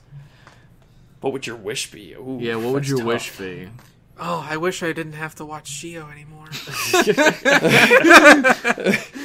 Hey, if you kill the rest of us, you, you get that wish no matter what. So. That's true. That's true. It's it's. Uh, I guess I have to watch Zi-O then because I can't kill any of you guys. I love you too much. Oh. Yeah. It's difficult. Like, what would your greatest wish be? That like it would be worth going through all of this for. Reveal Uh, reveal the darkest corners of your heart on this Kamen Rider podcast, Jeff. Uh, I just, since I picked the bear, I'd figure that my character would be pretty dang lazy. So I would just like wish that I'd never have to work anymore. You'd be I like wish Emperor. for a billion vajillion dollars. Yeah, I could I'd- just like lay around all day, do nothing. I'd wish for an entire plate of hot pockets. Uh, why? well, know, hot 'cause I pockets are okay. I like got hot no problem. pockets. But uh, as in Office Space, they say there that one character says you don't need a million dollars to do nothing. So I don't know. You know what I would do if I won the ride war? What's that? Two chicks at the same time. My brother's broke. Don't do Jeff, shit. you don't need to win the ride war to have sex with two chicks at the same time. you do when you You look just like have me. to be attractive. We're quoting a movie, Tomas. I know. I know. I was gonna- quoting it too. We're, uh, I don't know what my wish would be, but I would probably. I don't see myself murdering my friends and also a bunch of strangers for it, so I'm gonna have to go with no. It really depends. If I was like Knight and I had a really deep personal tragedy happening to me, I might. But uh, none of that shit's going on in my life right now, so I don't. I don't think I could kill these guys. The fact that you have to think about it. He's the edge lord of the group, after I all. mean, yeah, that's my brand. Uh, Tatakai. Tatakai. Tatakai. Tatakai. So, Max, would you kill us all? Nah. I don't know. We'll see. My motivation isn't really all that like. It's not much of a conviction, I guess. I would kill all of them for a box of fruity pebbles. next email. Barney. Can you guys guess who our next email is from? Jake the Snake. Yes. Welcome back. He says, "Hey RCR, Thank you a ton for making me honorary fifth host. I'm really honored and appreciate this. I can't thank you guys enough. You don't get paid. Uh, you definitely don't get paid. I actually hadn't watched True Ending yet, so big thanks for the commentary track too. It was They're golden for you. and the best motivation to watch extra material I can think of. Uh, Happy welcome. Dad Hero, Zaku Ninja Mooks, Enjoyable and Tolerable Dan, and Dangerous Zombie in the Rain was a fun watch. Shame the second half of the movie got messy. Yeah, I mean, all those Rider movies are always. Here's just all the CGI budget in the last 15 minutes. Yep. Let's just uh, pull the trigger and vomit all over the place. Um, he mentions that the full version of Over Quartzer is out, and it's pretty sweet. oh, I want to listen to that. I actually actually, like like Overquartzer. Overquartzer. Yeah, Yeah, that's it's good good. theme. Over Quartzer's pretty good. It's catchy. Oh, there's there's one thing we didn't really talk about. He mentions that he digs another Gaim's design. He's a sucker for broadswords. What do you guys think of another Gaim? I actually Oh, Another like Gaim's it. fucking sweet. Yeah. Yeah. Yeah. One thing I really appreciate about um, this series is that a lot of the uh, another writers' designs just look great. They really do. Yeah. Uh, I loved like I don't think there's been another rider design that I didn't at least like a lot. Did Yeah. you did you like Ex-Aids? Yeah. Okay, I did like Ex-Aids. that, was my pink only Predator qualm. design.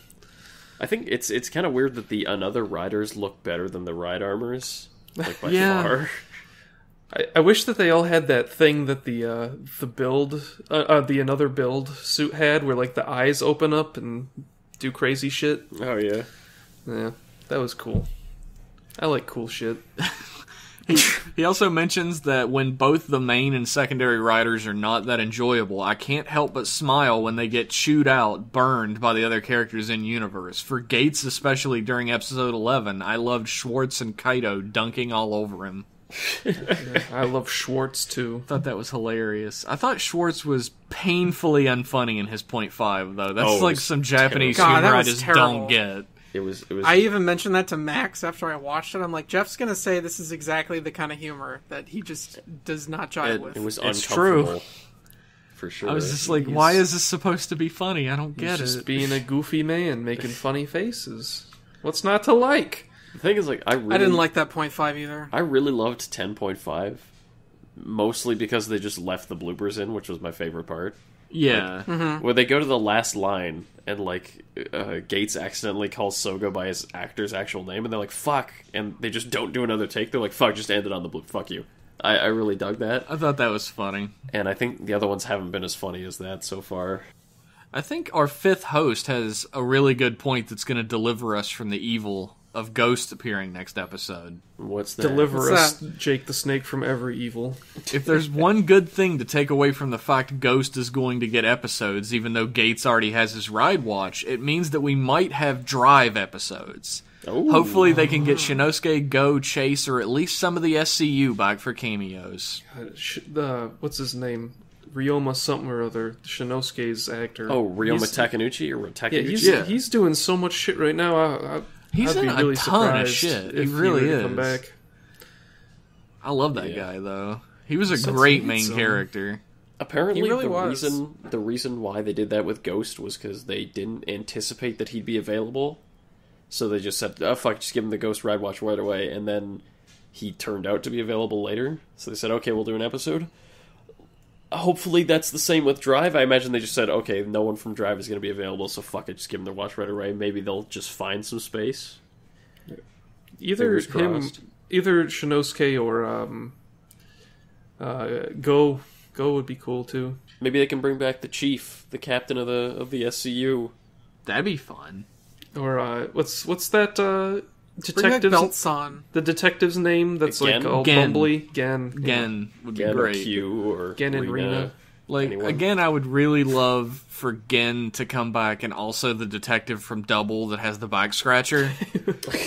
I would just love those two. Gino? Yeah, They Geno have to and solve Gen a crime together. to go on adventures together. I would love that. They they are buddy cop material. Um, question two. He does a little bit of Gaim spoilers that I'm not gonna get into because we also uh, just spoiled something. And by we, I mean me. We love Gaim. I love Gaim.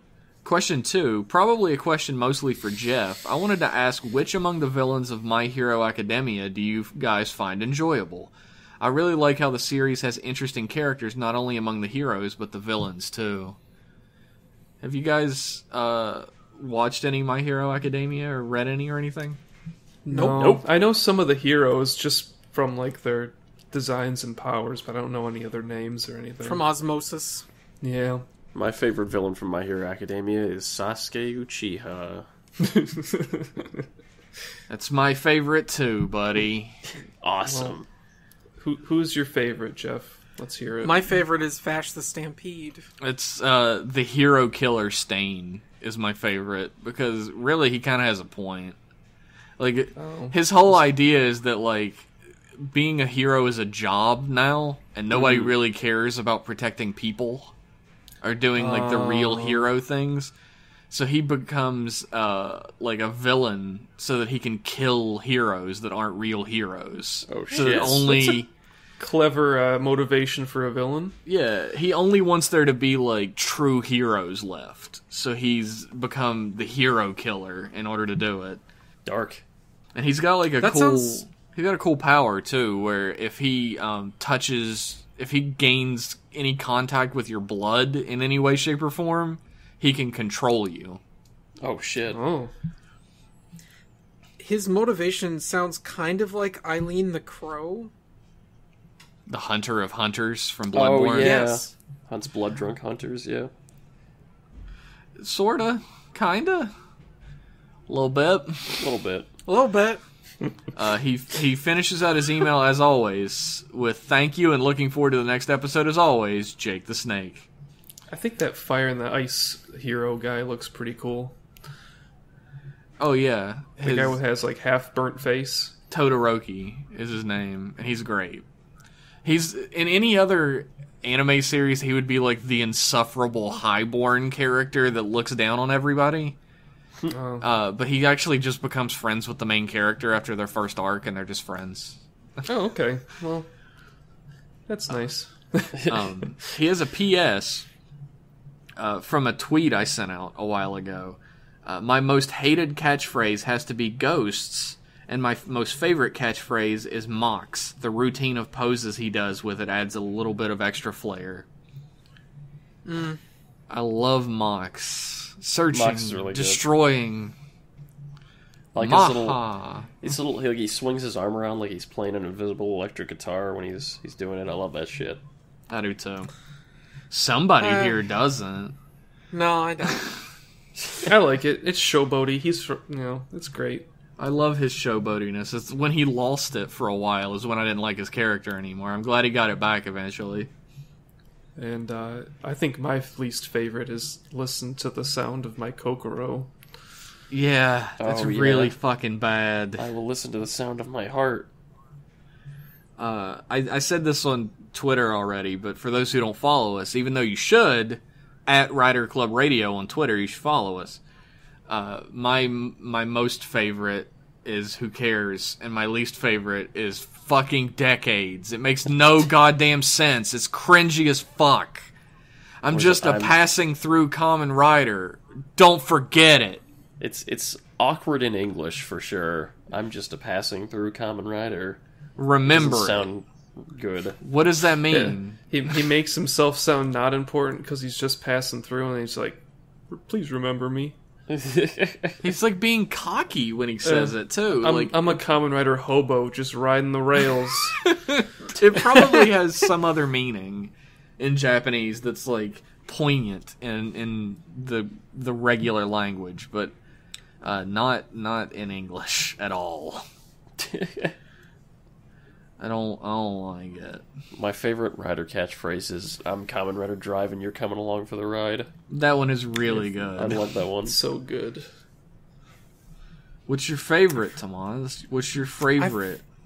I forget what I said my favorite was, but uh if if I can have an unofficial favorite, it would be just Godai saying Daijobu, even though it's not really a catchphrase or like a transformation phrase or anything, because they didn't do that yet.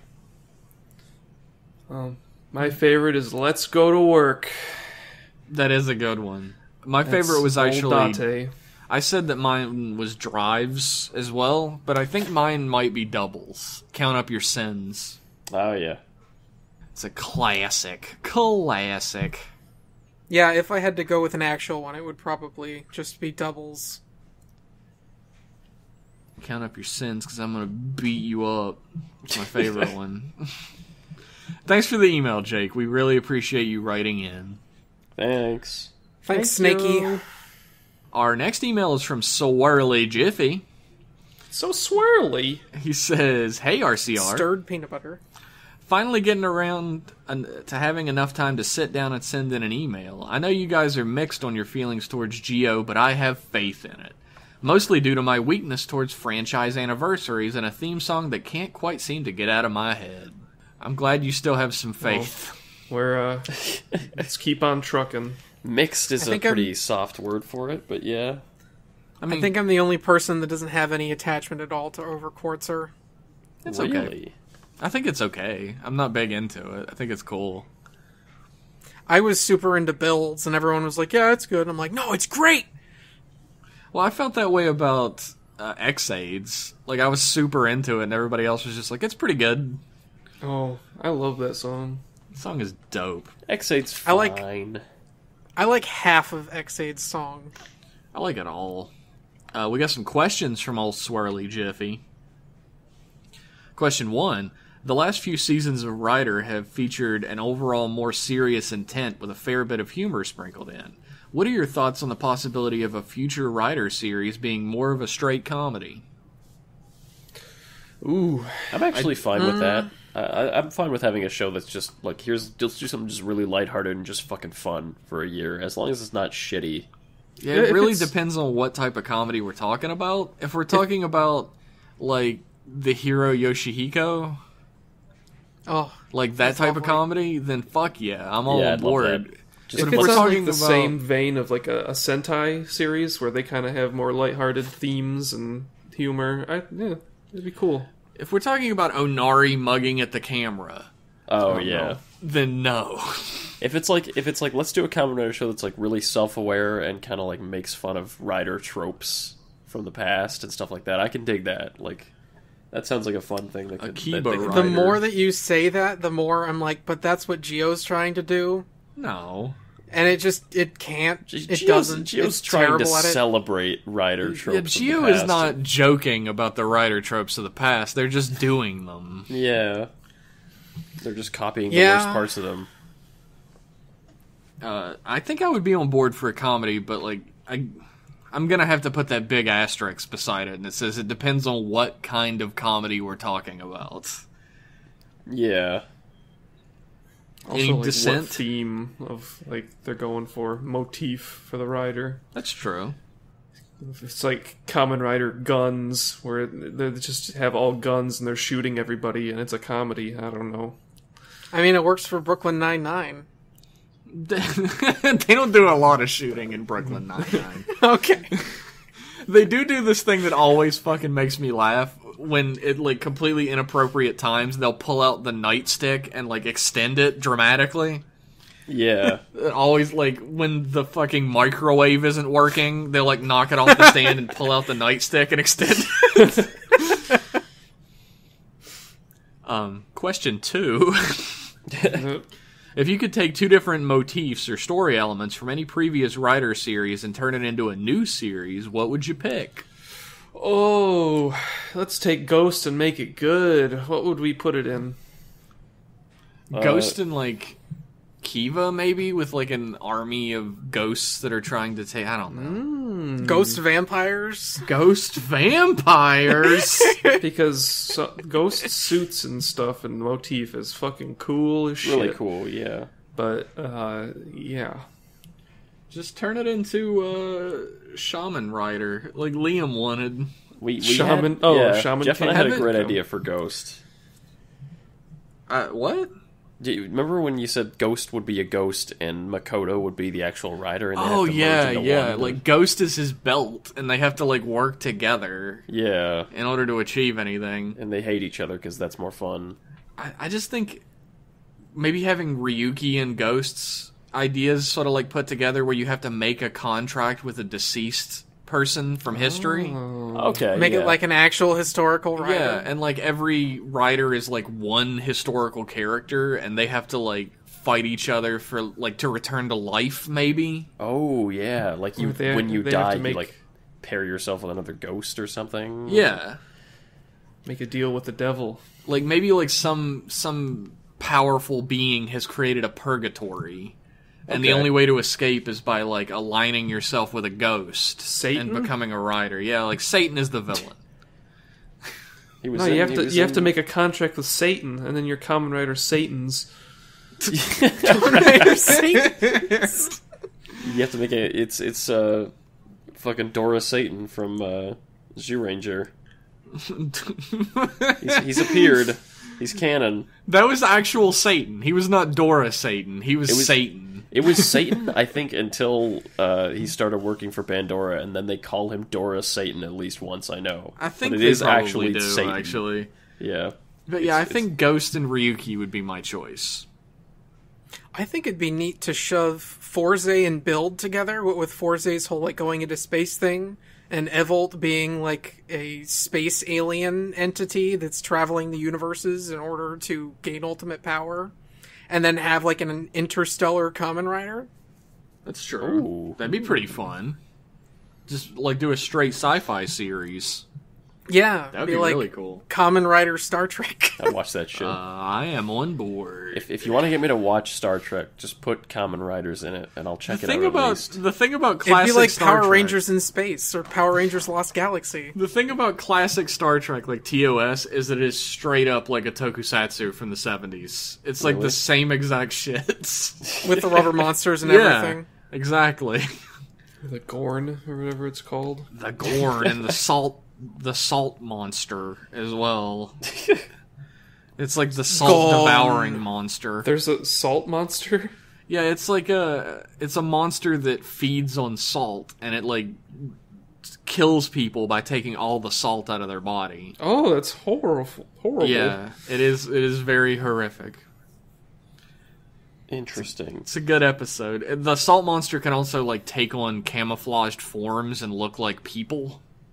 Ooh. So it's like a Devil Among Us type episode. It's really good. And just like uh, monsters from most of these Kamen Rider shows, they can just inexplicably turn into people to hide Yes. amongst them. So the the budget. This one definitely can. Yeah. Uh, I'm gonna Um, agree with Jeff and say Ghost should be more like Ryuki because every Rider show should be more like Ryuki, but Ghost especially. I just picked a ghost and a good show and put them together and hope for the best. Yeah, it, you can't fuck up. You can. Ghosts can overpower the good show and make it a shitty show. That's true. Oh my God, I It didn't couldn't expect be this. bad. And then it was bad. Yeah. Do you guys have any other choices? Uh, how about ghosts? But instead of Ghost, he turns into a dog, and he has to do 99 good deeds, or else he dies. Fuck yeah. I'm Or all else he on board. dies. Does he also play basketball? Uh, yeah. Fuck yeah, That's green one of the light. deeds. Yeah. Hey, wait, we have we have our sports Rider. It's a sports playing dog. No, he gets he gets turned into a dog and he has to master 2,000 skills by the year 2000, or else he will die. How about But hear he's a me out dog. here? Okay. Hear me out here. He gets cursed to become a dog, right? Okay. And he has to do the 2,000 good deeds or whatever, 2,000 skills before 2,000. But the dog can transform into a Kamen Rider that's a person. Okay, okay. Go on. But the the Kamen Rider is dog themed. Oh. Secondary rider, a cat trying to stop him from gaining his goal. And it's not a person Cat that turned to- into a cat, it's just a cat. Just a cat. Does does the cat have nine lives? Yeah, that's the cat's theme. Its power is it has nine lives. Well, I think we just wrote a show, trademark it, copyright it, print it. You know what will really suck is when the new series scans start coming out and it's about a dog rider and it sucks. yep. That's what happened with Ghost. Yep. Um, question three. Do you guys have uh, you guys have talked about JoJo's on the podcast on more than one occasion? Do you each have a favorite part or stand? And have you been keeping up with JoJolion or the Part Five anime? Thanks as So I always, thought- and I hope the holiday season treats you well. Swirly Jiffy. Oh boy. Thank you, Swirly. I thought I thought he was talking about fried potatoes. Oh, JoJo's? Julianne. JoJo's. This is this is my favorite part of the podcast when someone lobs us an excuse to talk about JoJo for a while. Uh, JoJo's the the Trader Joe's knockoff of Oreos. oh, yeah. Is that Oreos, you mean? Yeah. yes. Fuck. Uh, my favorite part is probably four. Like I love two, but I think four is my absolute favorite part. Uh, I like Which one is four? four is Four is the one with Unbreakable? Josuke that's in the high school. Diamond does not crash. Yeah, Diamond is not Crash. Uh, I like Steel Ball Run. I like Steel Ball Run, but I'm also gonna give uh, uh, an honorable mention to Part Two because I just fucking love Battle Tendency. I do love Battle Tendency a Or lot. Phantom. I think I like Phantom Blood a little more actually. I fucking, Really? I, I adore Phantom Blood. Phantom Blood is good. Like I always, I love describing to people who don't know JoJo what Phantom Blood is about. Yeah. I always start with like, oh, it's like set during like the Victorian era, and this this kid gets adopted. This street urchin gets adopted by a rich man and tries to ruin his adoptive brother's life by kissing his girlfriend, taking his first kiss, and then he also kicks a dog into a fucking furnace and kills it. Yeah. And then he finds a stone mask and becomes a vampire. And then Jack the Ripper jumps out of a horse, a horse's corpse, a horps. A corpse, and he attacks the main character who's buff as fuck and also has sunlight powers. Uh, I never finished part one, but that I did at least read all of that. Yeah. Part part one's a trip. th- this is all new new stuff to me here. Yeah, Max, you're not like a JoJo guy, are you? I, no, it's That's just fine. it's all osmosis. Just like you know, I, I only know about like part three, like a basic bitch. I know about the stuff that appears in the cutscenes of the PS1 game because it's pretty good. Heritage for the Future? Yeah, Um, that's that's all like part three stuff. The part three fighting game? Yeah, Yeah, Yeah, I yeah, played the yeah. part three fighting I love that game. That game is fucking fun as hell. Yeah. Yeah, it is. Especially when you play as Joseph and get your shit wrecked because everybody has a million moves and you've got crackers. I like playing as the dog, The dog is fun. Oh yeah. Iggy? Iggy. Iggy. Iggy, yeah. Uh, Um, so I think it's just me and Liam who like JoJo. Yeah. I want to say I'm keeping up with part 8, but I haven't read it in like 6 months, but that means I'm only 6 chapters behind. So It's true. I am not keeping mean? up with JoJolion. Isn't I've, there like- not there a part where some guy drinks pee? I don't I remember. think I think there might be. I know the most famous part of JoJolion is that the main character has four balls. Four balls. Yep. Oh, What? Four testicles. It's Why is that relevant? I can't explain. It is plot relevant. It but I can't plot tell relevant. because it spoils it. does Unless- he does he get kicked in the balls with two feet? Yes. Is he a Krogan? You would He's have to kick him on the balls with both feet, or else it wouldn't do.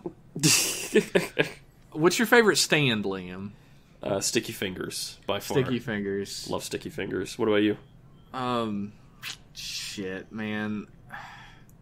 This is like the hardest question on earth for It me. is so hard. Oh shit. I like. I like that Ticket to Ride kills you, but it makes you like really horrific looking first. That's the best power. Is that the one that turns you into wood and then makes the whole world come to you?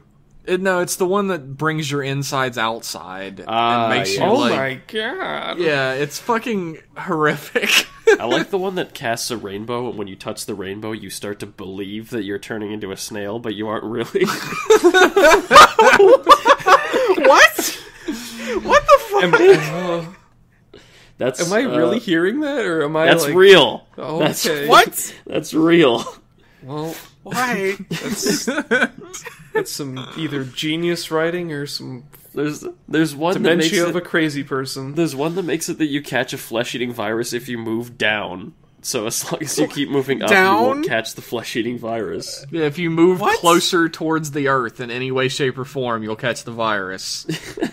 That's like The a bad version of speed. I'm, I might have to go.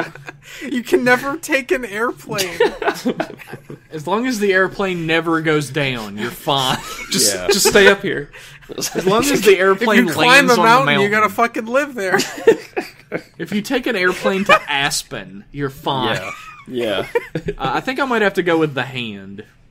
Oh, the hand is a cool one. The ability to erase space between two points. yeah, Oh, I hand is love it. sick. That sounds neat. The best part about it is uh, the character who has that stand is too dumb to use it correctly. Is the only reason why it's not the most powerful stand. It, it's like the strongest stand, but the the Okuyasu's a fucking idiot, Okuyasu's so- a fucking moron, so he Yeah. doesn't know how to use it right. All you have to do is remove the space between someone's brain and their feet, and they're dead. yeah, but Yeah. he's an idiot, he so he, never doesn't do that. this. Yeah, like uh, what are all these crazy reality bending stands? That's the thing And- about JoJo that I really that I enjoy is like the the whole concept is that your power is you get a ghost that has a superpower. yeah. Like uh, an extension of your spirit that has a superpower that you can use. But all of those superpowers are either like super specific or fucking crazy different. yeah. Like nobody has the superpower of super strength. Everybody has like they can erase reality between two points. What's with that guy who has a stand that's just like a gun? What's up with that? Oh, that's um, that's either Emperor that has a gun where you can curve the bullet, I think he's Or- talking. I think he's talking about Emperor. or Sex Pistols, which is like a bunch of guys that live inside of a gun that will kick your bullets in the direction you want to go. I love JoJo.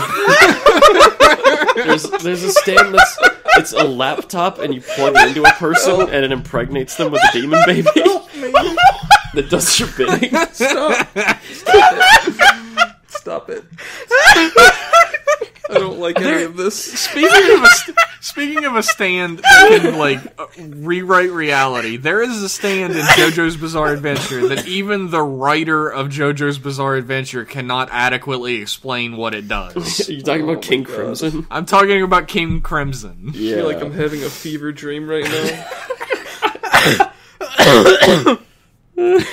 Did you? Just... Oh, Although I will a shout out to Tamaz is fucking dying over there. A shout out to the stand Emperor because the guy who uses it is a cowboy named Hol Horse. I love Hol Horse. Love it. Did you say you plug a laptop into and you upload a baby? It's, you plug it into a person and it impregnates them with a baby and it's born that day or like the next day or something. It's like an Oh, evil wow. baby that attacks your enemies for you. this is genius. Yeah, it's a really, really great manga. If you guys ever get the opportunity to read it, I strongly recommend it. oh my god! Uh, so, is can you do like a junior thing and, and plug it into a man and they have a baby? They never try it, so I don't know. Don't don't give them any ideas. Uh, fanfiction.net is going to be all over that. It's Emperor. I'm sure it already exists. Don't- Oh yeah, of course. Uh, thank you for giving us a reason to talk about this for 40 minutes. Thank you. We Thank appreciate you for that, making Swirly me Jiffy. laugh should- so hard I can't breathe. we should do an episode where we talk about JoJo or something. I think it would probably just have to be me and you. Yeah, probably. Maybe we Just- could introduce you the just other want me two to something. Have them like doubled over watch in something. laughter. Just give me Yeah. some cliff notes. Yeah, yeah, yeah. We'll give you the yeah. So our uh, next email is from D Cake Donkey. Donkey Cake. Donkey cake. Hey RCR, how was your November? I hope it was good. It was okay. I didn't do no nut, so I survived. I, I nutted quite a lot, so it's Me pretty too. good. I played a cowboy game and then I stopped playing a cowboy game. I didn't even play any video games in November. I think I started another Mario Odyssey game, and that's Shit. it. Yeah, That's all I did. It's a good one. I got Spider. Played a lot of Magic Arena. Oh, I yeah. played Spider Man in October. Spider Like I played the shit out of Spider Man in October. I really like that game. I still need to play that second DLC. I haven't played any of the DLC. It's it's got the best armor now, the the Spider Armor Mark One that makes you look like a disco ball. I've been playing through the whole game with that shit. I can't believe that we're like two. I think it's two DLCs in now, Mhm.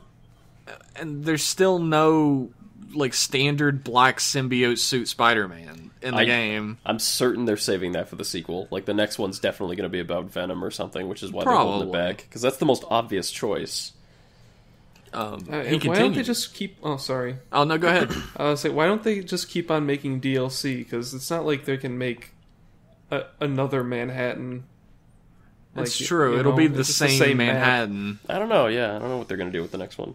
Go to They'll Queens.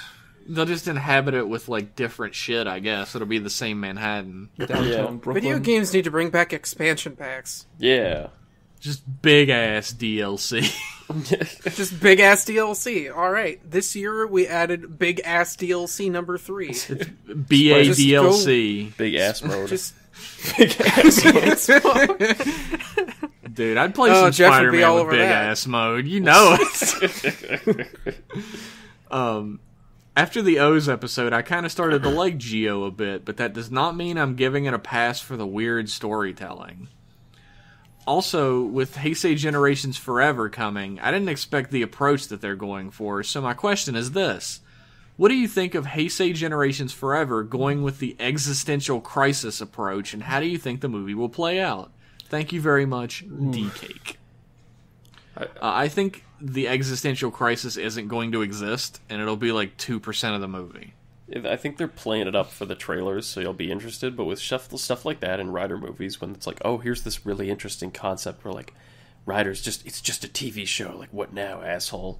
That's that's gonna be maybe either the first five minutes or the last five minutes. And I, I, I would love a Rider movie where that's a big theme, but I don't think I don't have faith in Rider Like- movies anymore. Even if they play it through the whole movie, here's what's really going to happen with this movie, and you can quote me on it. Hmm. Okay.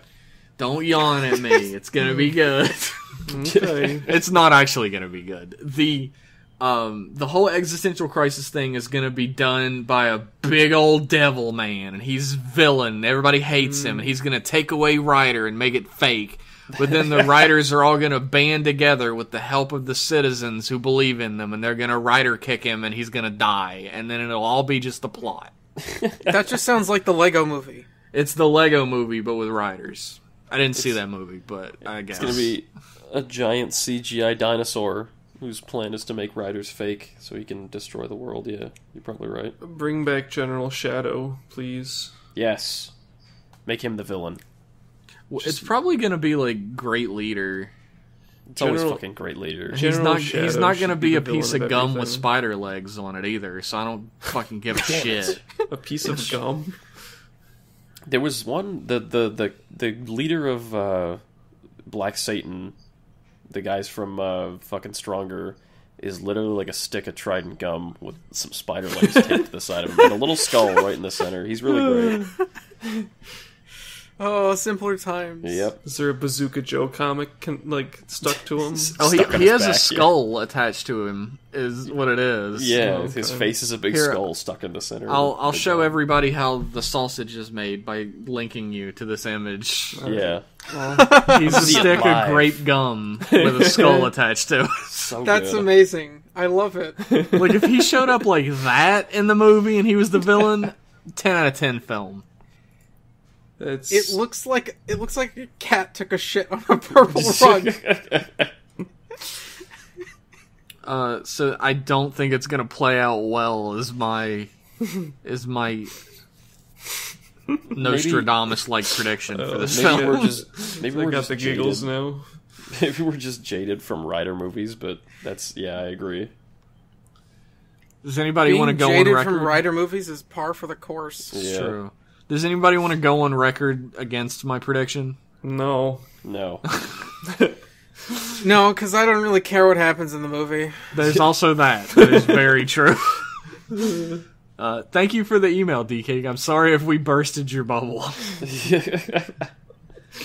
Um, Our next email is from Don Piantis, as it always is. Hi. It, it is our final email.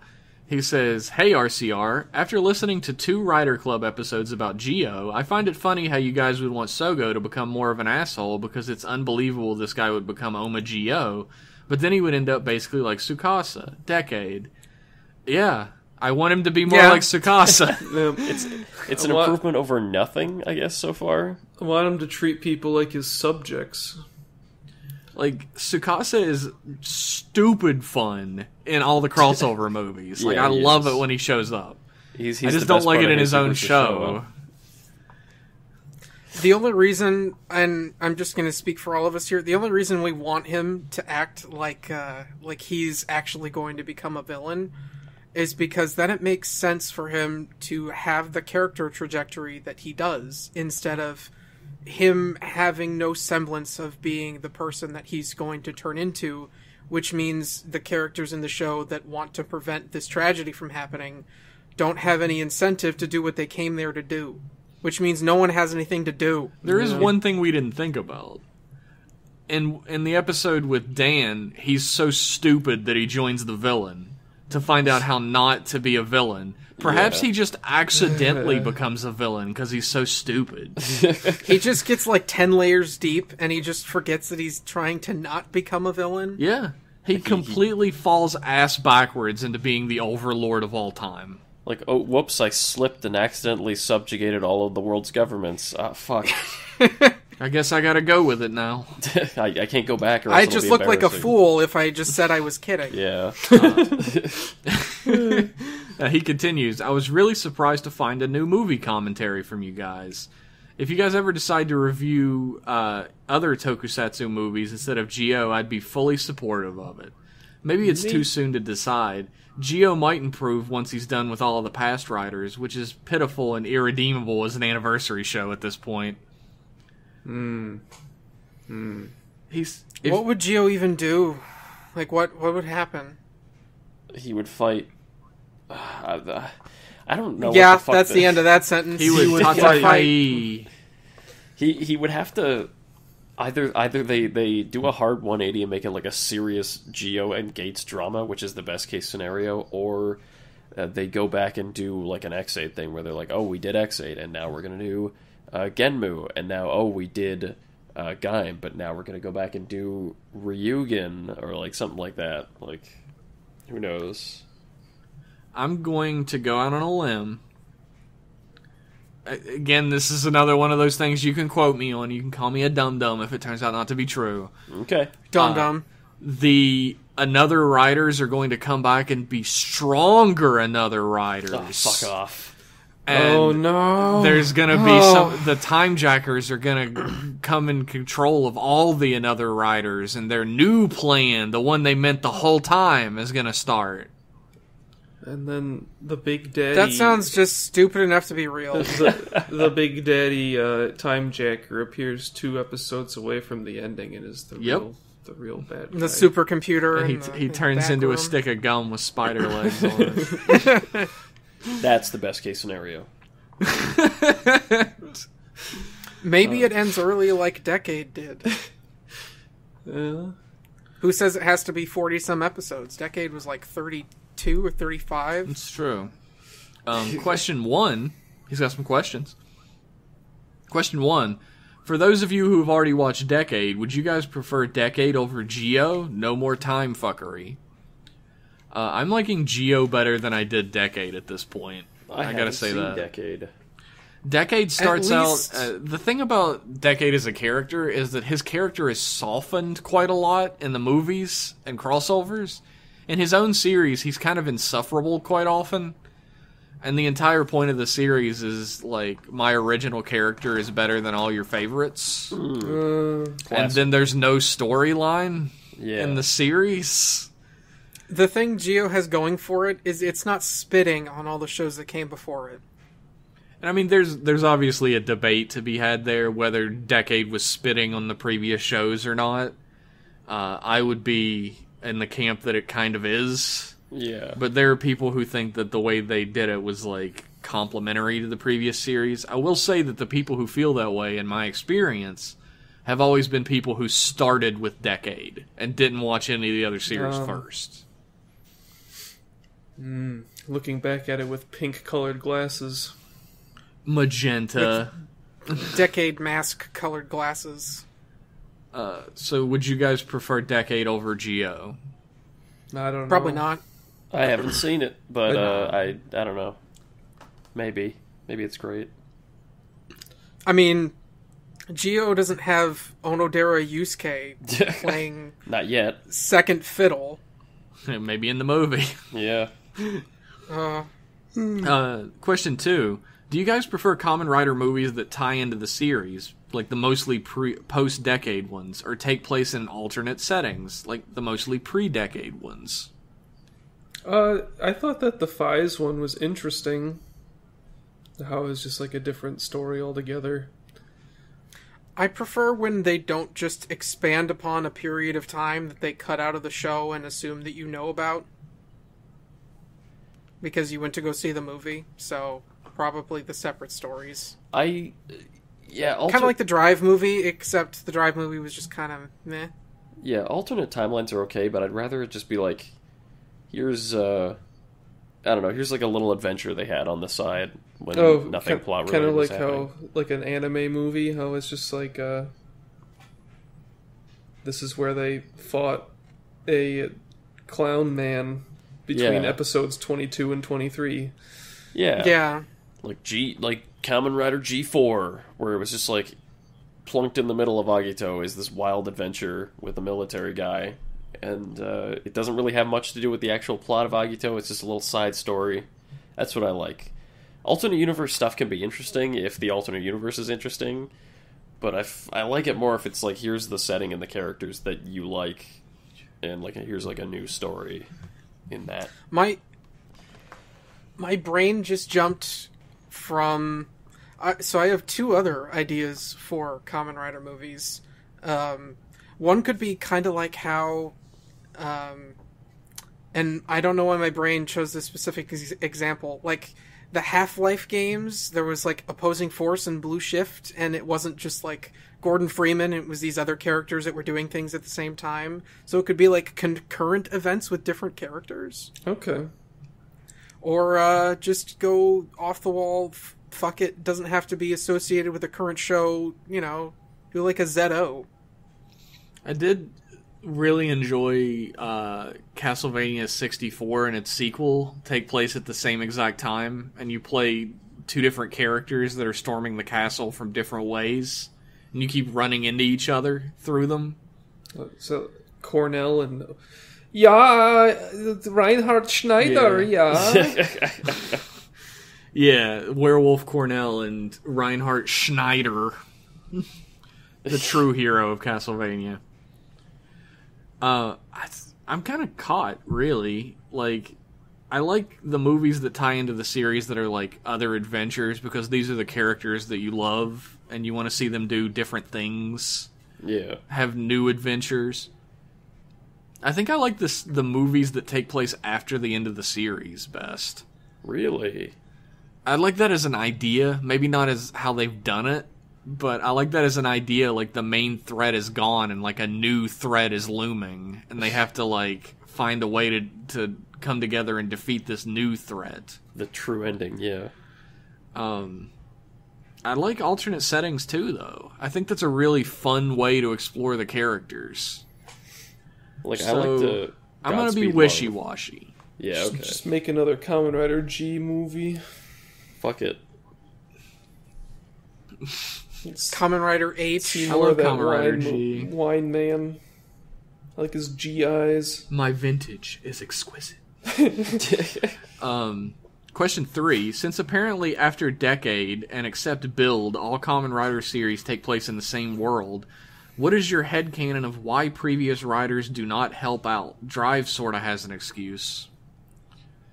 Apparently, if Drive just believes hard enough, the Earth will open up and Belt-san will fly out of it into his hand. So maybe always- not. I knew this was going to happen ten years ago, so Um, I don't think they all take place in the same world. I think that's just a convenient thing that they did now. if it all took place They- in the they make a same lot of world, nods. then Japan is one fucked place. Yeah. Like That a lot of monsters have killed a lot of Japanese citizens. And the Skywall has been around for how many years? yeah. So that The means the, thing is- Skywall existed in how many series, technically? Yeah, these series, a lot of the stuff that happens in these series completely negate their ability to be part of the same world as the other series. It's kind of the reason why they started out with, oh, Agito is like a sequel to Kuuga, and there's, you know, un- unidentified life forms. And then, like, 10 episodes then they're like, we can't fucking do this. Forget it. You can't make that work. Yeah. Well, eh, that wasn't really why they did it. The previous writers felt that it was um, uh, disrespectful to Godai because he wouldn't like. Why wouldn't Godai? Come Yeah, I remember help? that now. Yeah. So they were like, So, "Well, we'll just drop." They were that thinking then. about the question that you just asked in 2001. Yep. So, like I think it's it's the kind of thing where like when it's convenient when there's a crossover movie, then they cross over, and for that moment they've always existed together. And Yeah. then when it's done, then they don't exist together anymore in a That's- weird kind of way. that's how comic book crossovers used to work. Yeah, Like the 1970s, I think crossover between Spider-Man and Superman. They both like Clark Kent and Peter Parker work at rival newspapers, and they've known about each other's work forever. And that's just how it is. It's like when Batman and Spawn crossed over, Spawn just goes to Gotham City. Like when Archie and the Punisher crossover, yeah, yeah, the Punisher drives to just Riverdale. goes to Riverdale. yeah. and shoots Archie to death. yeah, it's kind of like how the the like the Marvel Defenders or you know the Avengers or all that like they they get into it but they only get into it for like those specific crossovers and series it's not frequent that they'll show up in each other's like special you know programs the Defenders but makes then no and sense. then the Defenders and then like they started doing that for Daredevil and all the other shows and then it just made it kind of weird because it's like yeah now they could really just help each other out and they're just not doing it Well, they and then all there's live this in the same neighborhood. that's talking to every single person it's like you know she's talking to Daredevil and she's talking to Luke Cage and I forget the character's name Everything in Marvel happens in New York City. Well, Yep. and mm-hmm. the Defenders, they all live in Hell's Kitchen, the same neighborhood, except Luke Cage. He lives in Harlem. And uh, and Hell's Kitchen ain't that big. It's really not that big at all. I work right next to it. It's not that big. You better like watch few out blocks. for the fucking kingpin, dude. uh, question four. Previously, I had a question in mind about which Toku franchise would be easier to write, Kamen Rider or Super Sentai, but after the Super Sentai rumor of being in jeopardy, how would you improve Super Sentai? I'm assuming half of you guys are still watching Lupin Ranger versus Patranger. Nope. Nope. Nope, nope none of us are watching. it. still that's still going Yeah. I think uh, Super Sentai might seem easier to write because it seems a little formulaic, but I think at the same time that kind of makes it that like if you're writing it, you're you're more tiptoeing more. Like it's easier to fuck up because it's it's more constrained. The formula might be the problem as yeah. well. Yeah, like it's the true. formula might be why Super Sentai is slowly starting to tank. Yeah, it's uh, it's old and busted, as they say. Yeah, stale I mean, Like- I think approaching a Super Sentai to begin with, like a Kamen Rider series, might be a, a breath of fresh air, where like each character gets introduced one by one, and you get Yeah. to learn about that character and grow to like care about them before you just start shoving more characters at us. oh my god, the Kyuranger was terrible with characters. oh yeah, Some of them didn't have any like story fleshed out about them. No, They're- there they were was a guy like- who liked to cook. Yeah, he was Cook Man. there was a girl who had a fake laugh. Yeah, Dude, that's everyone's waifu. Apparently, you can't talk shit about her. uh, Stinger had a cool character arc. That's about it, I guess. I was there was Dragon Boss Green guy was cool. It's. I feel like you introduce them one at a time. You give them all their own motivation and backstory and characterization, and then maybe for like the last twenty episodes, they finally form a team, Yeah. and Yeah. like they realize that trying to attain their own goals isn't working. Like they rebuff one another when one of them tries to help another. Like I don't need your help. Yeah, and that would that would be good for like one show, but then you got to do something else because if that's a formula, then that's going to get stale because then the first you know twenty or thirty episodes are always just going to be the same thing. I mean, you can run a formula for a while before it gets stale. Also, don't put all the damn focus on the red the red guy. Yeah, that is Yeah. a huge problem in Super Sentai. The the rest of the cast is just non characters in a lot of them. Um, That's something that apparently Power Rangers does a lot better. uh, Where it's not just about the red guy. I'll, Yeah. I'll suck uh, ToQger's dick until the cows come home, but all, all the characters in that were pretty good. They were all nicely touched on. I like that. I kind of want to watch ToQger. I know it was done by my favorite writer Yasuko Kobayashi. It's pretty good. I've Yeah. actually wanted to watch ToQger for a while too got because Max has hyped it up. It's got great music in it. It's Yeah, got it's I got like a nice childish spirit to it. That's cool. Yeah. I like that. Like maybe I will watch it. It's got a I cool- don't really have any reason not to besides time. I like the villains in it too. Um, I guess that's the end of that question. Unless anybody else has any suggestions to improve the Super Sentai formula. Make it good. I don't. I don't think I could improve the Sentai formula because I don't know what makes Sentai good because I don't really watch it or like it very much. And so I would just make it something else that isn't Sentai and no one would like it. So You gotta have cutie cutie girls.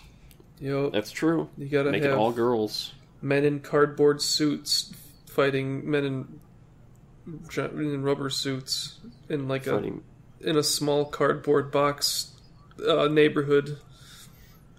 Was, I feel like the first thing I would do would be to take out the giant robot fights because they're never interesting, and then people would tear me to kids shreds. love that stuff. You gotta have it. Uh, the, the robot fights are cool and they like mean something. Like if they're if the monster like dies when it's normal size and then grows, it's like, ugh, well, they already lost, so who fucking cares? That's what I, I was always talking about Jeff, where like they beat the monster for the first time, and the second that motherfucker starts growing, I, I check out. I'm on Yeah, my phone for pretty the rest of the episode. But uh, if they like use the giant robot for something, I don't know. Yeah, How was uh how was coddling Sentai Mom Ranger anyway? With the, the three moms that came a back from previous Rangers. Oh yeah, I yeah. didn't see that. Ah, I kind of want to see that because Did that ever get translated? I never heard anything about that. a team of Rangers that were all girls would be really cool. But I'm sure like boys ages like five to t- twelve would be outraged. Yeah, it's a delicate market. Yeah. I don't know. Not if you make them all cutie cuties, Oh, like you said. I'll Five to twelve don't give a fuck about cuties. All, like all uh, Japanese stay-at-home moms would be like, "What the hell? Where's all my boys at?" I can't look at sexy young boys anymore. What is this? That's my impression of a Japanese stay-at-home mom. Yeah. Give me them pretty men. Um, he finishes out his email with "Thanks for reading." Common writer Don Piantis because he commonly writes in emails to the podcast. Oh. Mm, you're mm, you're banned. He good. says other people can use that. He doesn't mind. Well, I'm sure people are just lining up. Thank you to everybody who wrote Yeah, in. thank today. you, thank you for writing. We- Thank you. Thank we really you. appreciate it. And Always I'd, love I'd some like to good say, emails.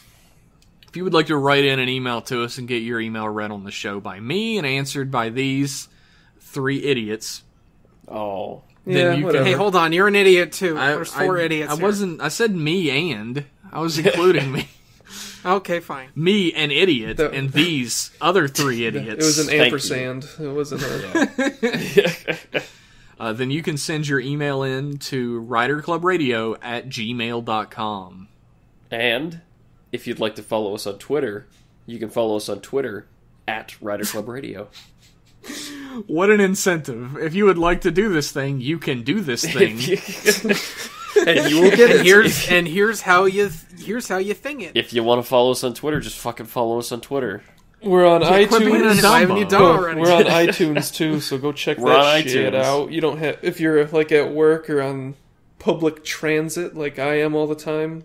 Yeah, look, if you got to commute, You don't have to have it on YouTube on your phone. Yeah, Yeah. listen to Rider Club Radio on your way there. First half of the episode on the way to work, second half of the episode on the way back. It's a I, perfect I day. literally have no idea whether anyone listens to us on iTunes or not. Like, I don't know how to check I, that. you can check the the statistics on Libsyn. You can go on there and look at that. Oh, Oh, the iTunes. Okay. Okay, well, um, if you do listen to us on iTunes, thanks. If Yeah. you listen to us on YouTube, thanks. And if you listen to us on iTunes, please leave a rating because we are pitifully unrated. Yeah. Oh, did you just We're, look? we're a very unpopular podcast. It's fine. I don't think we're unpopular. We're just underpopular. We're the It's not like only we're Toku podcast. Eh, whatever. We like what we do. Yeah, we Yeah. make the best Toku podcast. I will suck our dicks right off our bodies. It's the best one. There you go. Ooh, thanks. Schlorp. all Uh, all so out th- there. Thanks for tuning into this episode of Rider Club Radio. We'll back, be back in 30 days for more Rider goodness. See ya. Have a good holiday season. Ho, Merry ho, Christmas. ho. Happy Hanukkah. Now enjoy Pipo Bells.